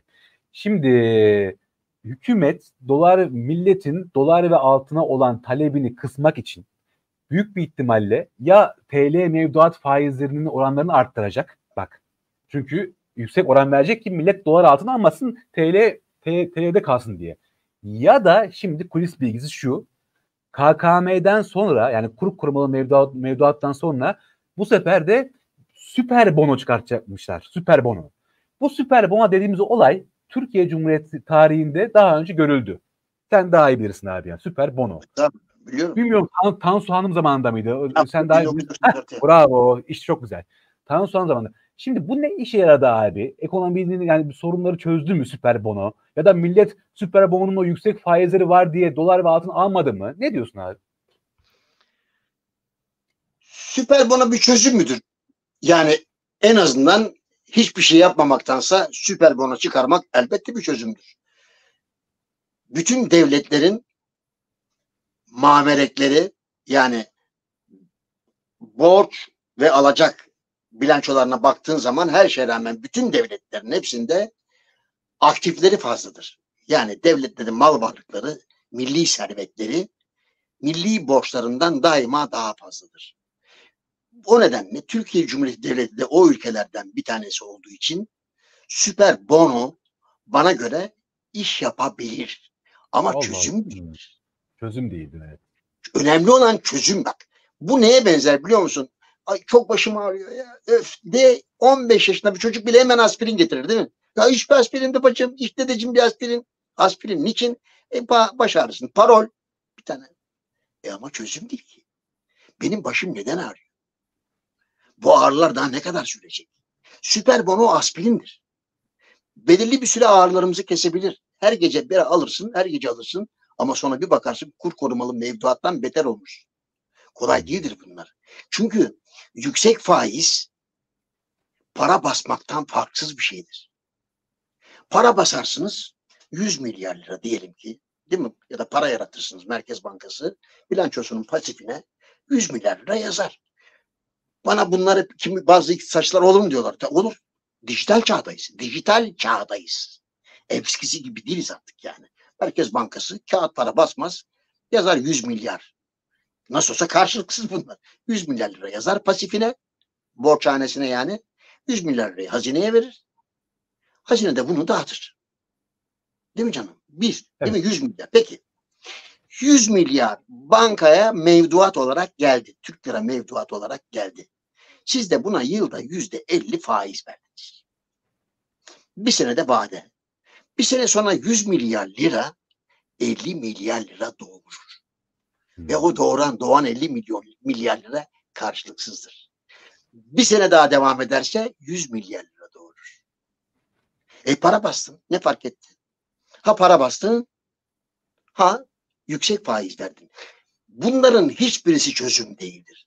Asıl çözümün vadesi çok geçti. 30 sene önce yazdığım dönemlerde olsaydı olurdu. 13-15 milyar dolar döviz rezervimiz vardı. Evet çocuklar 1994 krizine girmeden önce 13-14 milyar dolar döviz rezervim vardı.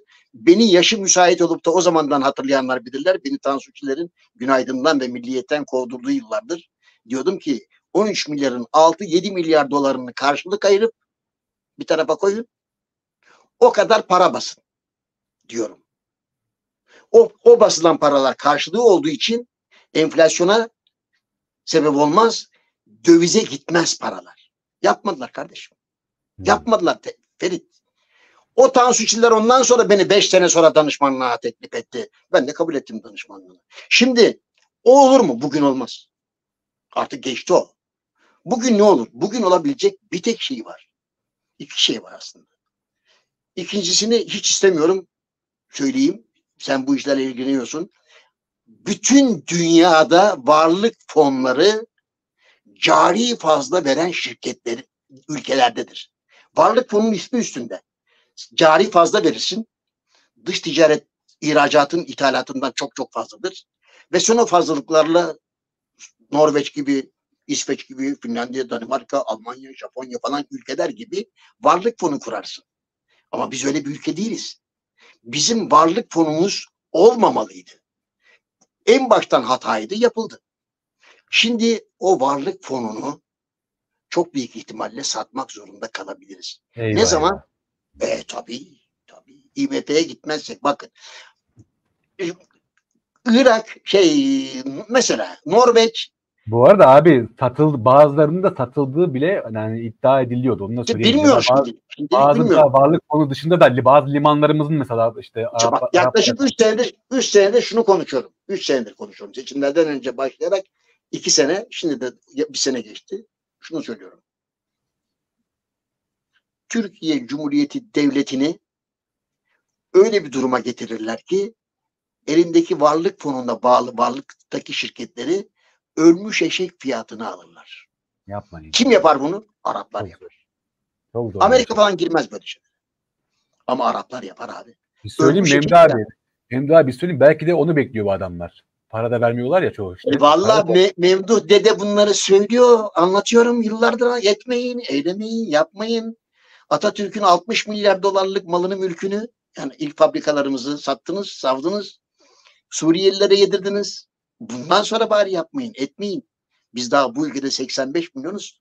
Ve bu ülkenin gerçek sahipleriyiz biz. Aman ha. O zaman Sisi ile bak kavga ettin barıştın. Suudi Arabistan Veliaht Prensi'ne katil dedin barıştın. Hatta adamın cinayet dosyasını geri verdin. Birleşik Arap Emirlikleri 15 Temmuz'u yaptı dedin. Finanse etti dedin barıştın. Değil mi? Bütün bunlarla barıştın. Esad'la büyük ihtimalle işte barışıyoruz artık. Şeyler başladı çünkü. Temaslar başladı ve görüşmeler başladı. Ona da büyük ihtimalle barışacak. Değil mi canım? Miçotakis'e neler söyledi? Miçotakis de barıştı. IMF'ye ne yaptın sen ya? IMF'ye bir defa bir, bir, bir laf ettin. Olabilir. IMF onu ciddiye almadı. IMF ile barışacaksın kardeşim. IMF ile barışacaksın. Barışmazsan BOTAŞ'ı, Ziraat Bankası'nı, Türk Hava Yolları'nı, bütün şehir hastanelerini, bütün otobanları, havaalanlarını satacaksın kardeşim. Alırlar mı? Of of of of of. Gelir garantisi ya. Almaz olurlar mı? Arkasında hazine var. yapalım. Ee, şöyle yapalım bir de e, Ali abi de uzun zaman böyle şey yaptık sessiz kaldı. Ee, e, son, son abi toparlarken yani saat 3 dedik bir 10 dakika daha Ali abi senden de şey rica edeceğim. Ben şimdi soruyor, insanlar e, soruyorlar da bu yerel seçimle ilgili hadi abi biraz şey olsun böyle hani bir öngörün önemli senin yani Hmm. neyse İstanbul ne olur Ankara ne olur kim nasıl kazanır ne diyorsun abi genel olarak? Şimdi e, çok ilginç. E, bu 14 Mayıs ve 28 e, e, 14 Mayıs ve 28 Mayıs'taki seçim sonuçlarıyla ilgili e, bir bilgi aktarmak istiyorum öncelikle size. İstanbul seçimlerinde İstanbul'da İstanbul'da 14 Mayıs seçimlerinde Kemal Kılıçdaroğlu 4 milyon 928 bin 772 oy almış. Yani içerisinde İyi Parti var, DEM var, muhalefet var. E hani onlar oy vermemişlerdi Kemal Bey'e. Söyleyeceğim abi. Rakamları söyleyeceğim. Ne demek istediğimi daha iyi anlayacaksınız. Recep Tayyip Erdoğan 4 milyon 738 bin 680 oy aldı İstanbul'da. Yani içerisinde yeniden Refah Partisi de dahil olmak üzere, Büyük Birlik Partisi de, MHP'de, Hüdapar'ın da dahil olduğu ittifak Aradaki fark milyon- 200 binden fazla mı Ali? Söyleyeceğim abi. Ha. 46.68 Recep Tayyip Erdoğan, Kemal Kılıçdaroğlu 48.56 abi.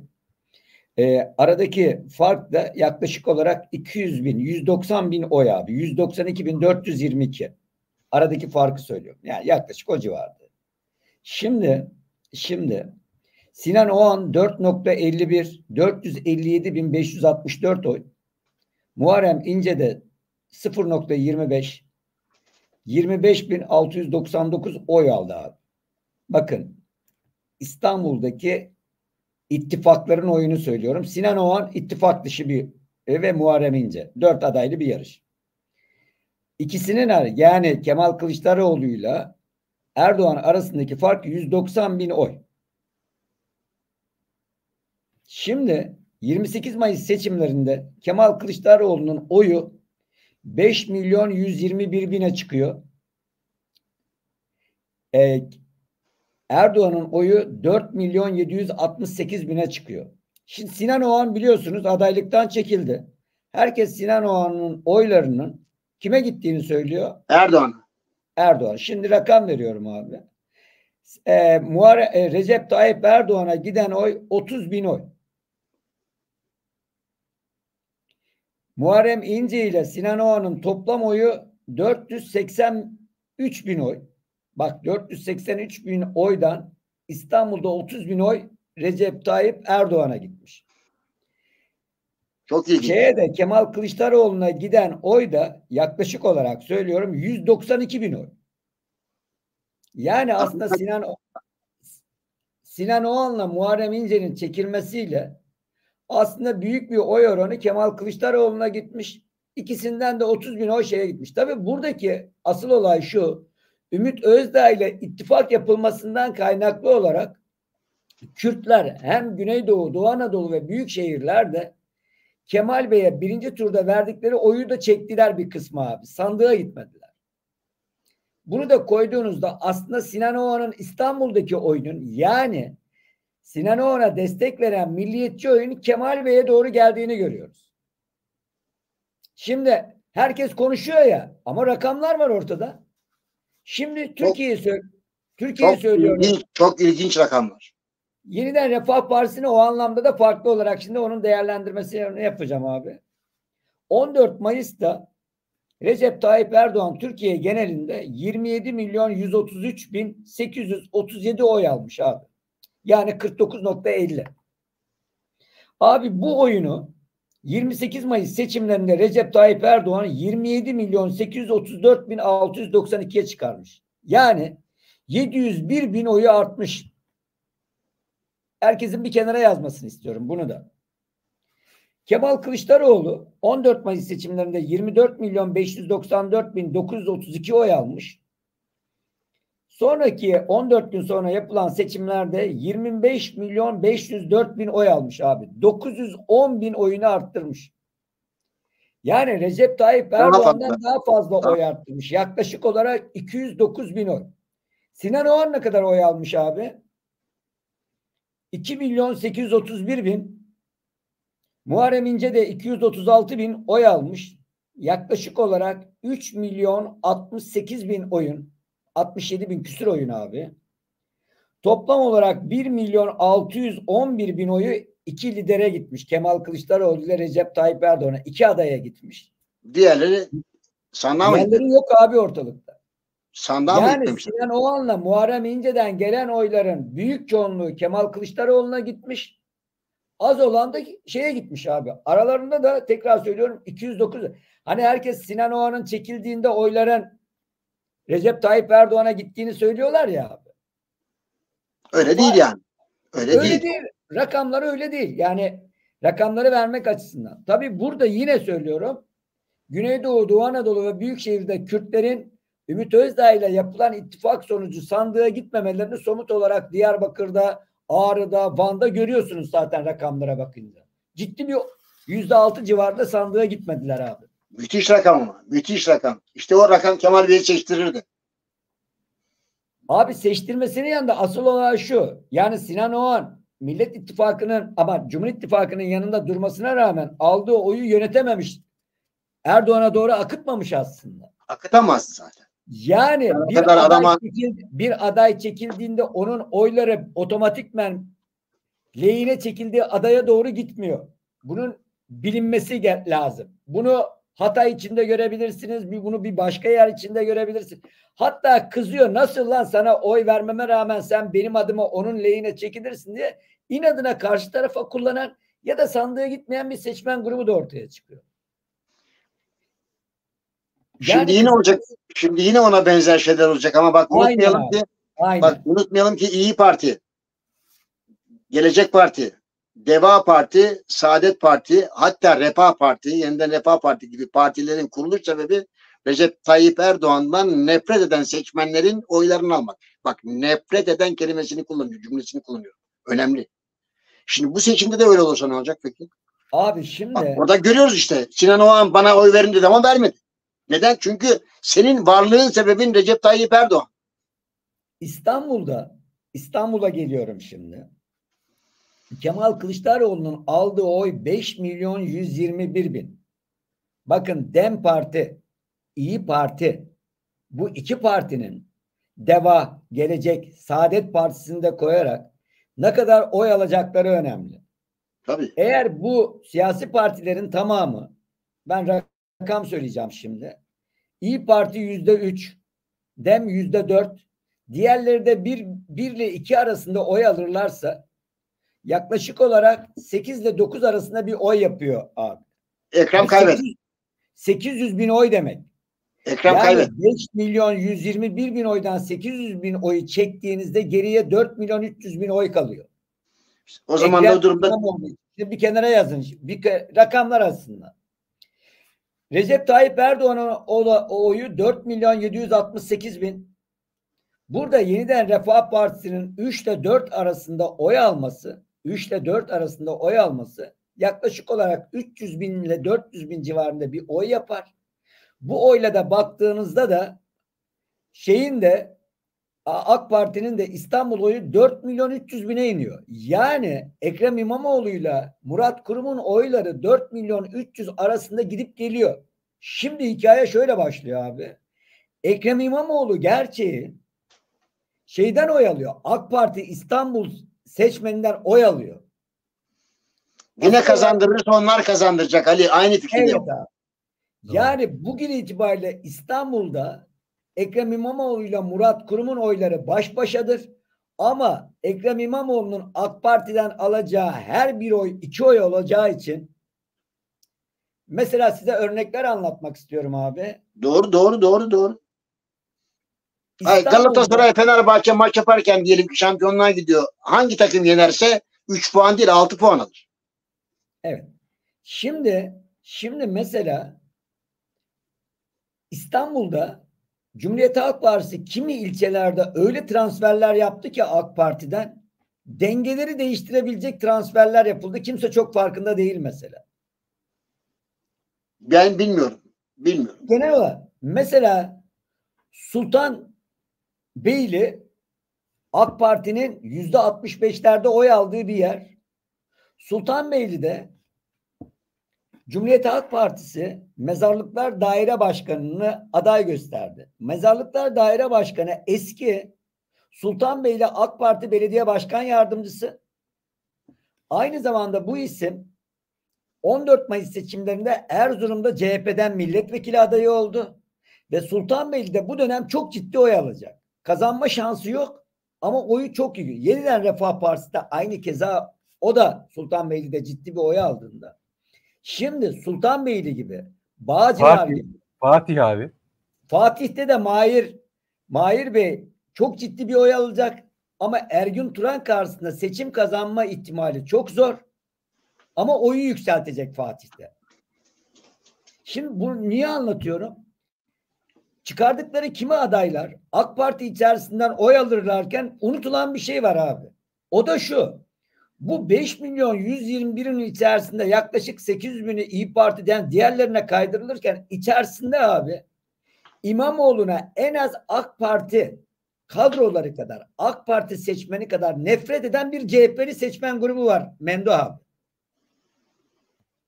Bu grup Kemal Bey'in etrafında şekillenmiş olan bir yapı ilçe yönetimlerinden tasfiye edilmiş, listelere yazılmamış, il yönetiminden tasfiye edilmiş ve bir nefret özellikle Kemal Bey'in seçim kaybetmesinin sorumlusunu Ekrem İmamoğlu gördükleri için acayip bir sahada AK Parti kadar AK Partililer kadar anti propaganda yürütüyorlar Mendo abi. Bunların alacağı oyun Yazık, Ne- yazık ama. Yazık ama. Bunlar bak bunlar AK Parti'ye oy vermezler. Çok net söylüyorum. Ama bunlar aynı zamanda Ekrem İmamoğlu'na da oy vermezler. Yanlış yaparlar. Ayıp eder. İşte o oy, o oy 10 bin mi olur?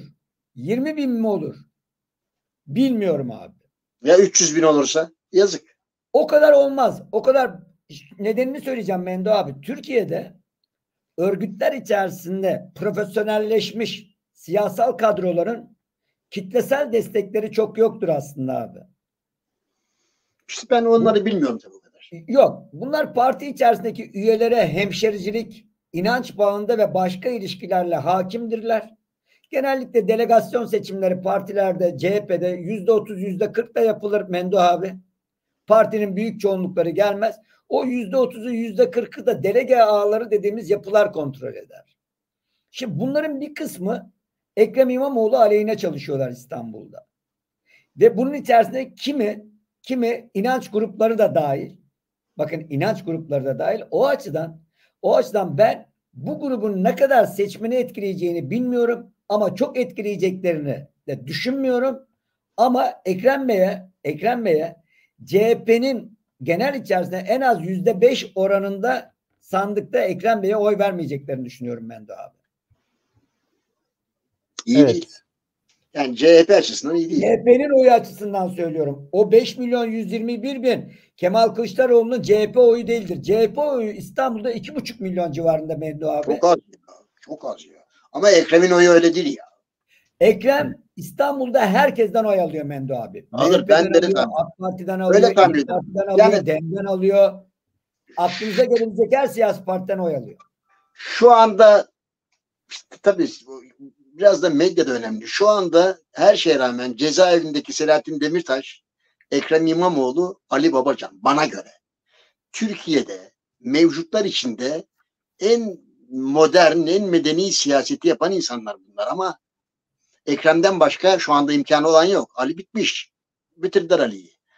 Ama onun için diyorum Ali ve Ahmet Davutoğlu bitmek istemiyorlarsa e, yeniden Refah Partisi Fatih Erbakan bitmek istemiyorlarsa seçmenlerine ne yapmalılar yapmalılar gerekirse Ekrem İmamoğlu'nu seçtirmeliler. Recep Tayyip Erdoğan bütün bu Adana'yı, Ankara'yı, İstanbul- İstanbul'u, Mersin'i, Antalya'yı falan alırsa yani ne yeniden refah kalır, ne deva kalır, ne gele- gelecek. Hiçbirisi kalmaz. Toz duman olurlar. Öyle bakmaları lazım ve bunu görebilen şimdilik görebildiğim kadarıyla sadece Fatih Erbakan. Diğerlerinin Şimdi Bilmiyorum. toparlarken izleyeceğimizin yorumlarına baktım da bir izleyicimiz yazmıştı. Ferit abi iki saniye boşluk bulsa hemen yayını kapatacak diye. Doğru. doğru. Ee, İtiraf ediyorum bunu yani. Doğru. Ee, adamın adamın adamın biri arkadaşa şikayet ediyor. Yahu diyor karından çektiğim kadar diyor hiçbir şeyden çekmedim diyor. 30 senedir diyor. 30 senedir. E boşansana söylesene diyor. Söyleyeceğim ama diyor hiç susmuyor ki diyor. Estağfurullah. Gayet keyifli o işin esprisi tabii ki. Son, son bir ekleme yapacağım Ferit. İstanbul'da Cumhuriyet Halk Parti'nin belediye başkan adayı olup İstanbul'da oy kullanamayacak adayları var Ferit. Fıkra bu kadar. Vay be bu da güzel fıkra. güzel güzel oldu evet. evet. Kemal Kılıçdaroğlu Şimdi- 2009'da biliyorsun aday olduğunda o da kullanamamıştı. Evet evet hatırlıyorum. Ay o, o sandığını bulamamıştı. Yok abi şey sandığını bulamamış değil. O, seçmen şeyini taşımayı unutmuş. Ha, öyle bir şeydi değil mi? Bir şey vardı yani. Şimdi bir de güzel bir şey söyleyeyim izleyicilerimizle ilgili tabii ki. Ee, gerçekten e, imkanlarımız çerçevesinde e, o kadar iyi oranda izleniyoruz ki e, hepinizi çok seviyoruz. Hepiniz çok kıymetlisiniz. Eleştiren, eleştirmeyen, olumlu, olumsuz e, e, eleştiri yapan hepiniz çok değerlisiniz. Çünkü niye? E, yayın başından beri e, ortalama e, 8 bin izleyici yayınımızı izliyordu. Saat oldu şu an 2 ve 3 saattir yayındayız. Şu anda e, izleyici sayısı 6500 e, ortalamasında. Yani bırakmıyor da izleyiciler gerçekten. İnanılmaz bir şey bu benim için. 3 saattir yayındayız. Hani 3 saattir ben bu koltukta oturuyorum ya böyle. Put gibi kaldım yani burada. Oğlum sen yorumu- gençsin ya. Ben nasıl oturuyorum 3 saattir ya? Ya prostatım Aynen olsaydı. öyle. Özür dilerim abi. Kendimi geçtim. Memdu abi, Ali abi. e, bu emek, e, öyle bir emek var ki burada 3 saat boyunca dil döküyorlar. İşte e, kendi e, çerçevemizde gerçekleri sizlere e, anlatıyoruz. Bunun için çok kıymetli bu verdiğiniz değer, bu oranlar. Tabii aynı şekilde de e, kanallarımıza abone olmanızı da e, istiyoruz. Abone olmayanlar varsa bu videoya da bir like yani beğeni atmanızı da e, bekliyoruz. Ve tabii süper chat, süper sticker, işte katıl gibi e, yerlerden de e, desteğinizi bekliyoruz. Ama onlar olmasa bile şu bile benim için çok önemli. E, 6 bin kişi saat saat 2'de e, bu yayını izliyor ya. Daha ne isteyeyim gerçekten. Hani o kadar te- televizyon kanalı gördüm. O kadar yayın yaptım abi. Böyle bir oran görmedim ya. Çok ilginç yani. E, televizyon uydu yayıncılığı bitmiştir uydu yayıncılığı ama YouTube çok iyi. E, çok sağ olun diyorum ve son artık e, kapatıyoruz hadi. Bir şey söyleyeceğim sadece. Bir çıkamadım abi ya evet. Ha, Bir şey ama bir tek şey çok önemli. Niçin önemli ama? Ben ilke olarak ilke, ilke olarak abone olun falan demiyorum. Sen diyorsun. Ali diyorsunuz. Deyin saygı duyuyorum. Ben de sizden istifade edeyim. Yani bunu söyleyen ben değilim yani. Ya ama izler şeref duyuyoruz ayrı mesele. Ama ilke olarak koydum bu işe başlarken demeyeceğim diye. Onun için ben herkesi çok seviyorum Ben söyleyeyim Ferit istersen. Tabii. Efendim? 6000'in üzerinde bu yaklaşık olarak ne izleyiciye tekabül ediyor söyleyeyim. 60 bin izleyiciye tekabül ediyor. Ee, bir bütün olarak söylüyorum. Şu anlık olarak söylüyorum. Ee, her üç kanala da yayınlarını beğenir ve abone olursanız çok seviniriz. Çok teşekkür ederim. Ben de ben de kesinlikle sevgili Ali'cime de sevgili Ferit'cime de onlara takipçi, abone mi olduğunuz zaman bana olmuş sayılırsınız. Ben de öyle hissediyorum. Lütfen Sağ canlarım. Lütfen iki, ikisinin de ve Ali'yi de Ferit'i de ne yapın yapın mutlaka programlarını izleyin çocuklar. Lütfen. Haberleri Ben- paylaştık. Ben dedeniz olarak istirham ediyorum. Yapma mutlaka. abi ya valla. Evet, haberleri futbol- paylaştık. Haberleri paylaştık. Güldük, eğlendik. Bak şimdi beni abi duygulandırdın yemin ediyorum ya. Aa, abi çok güzel ya ben de ben ben ne rakamlar görüyorum sizin sayenizde baksanıza ya çocuklar.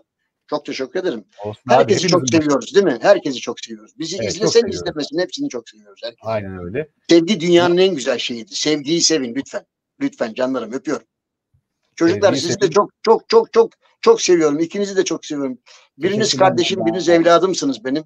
Buna lütfen inanın. İnanıyorsun zaten. Ali'cim burada geldi bana şeref verdi. İki kez ailesiyle. Ferit seni de bekliyorum çocuğum. Tamam mı? Tamam abi, Öpüyorum. geliriz abi. Sağ ol.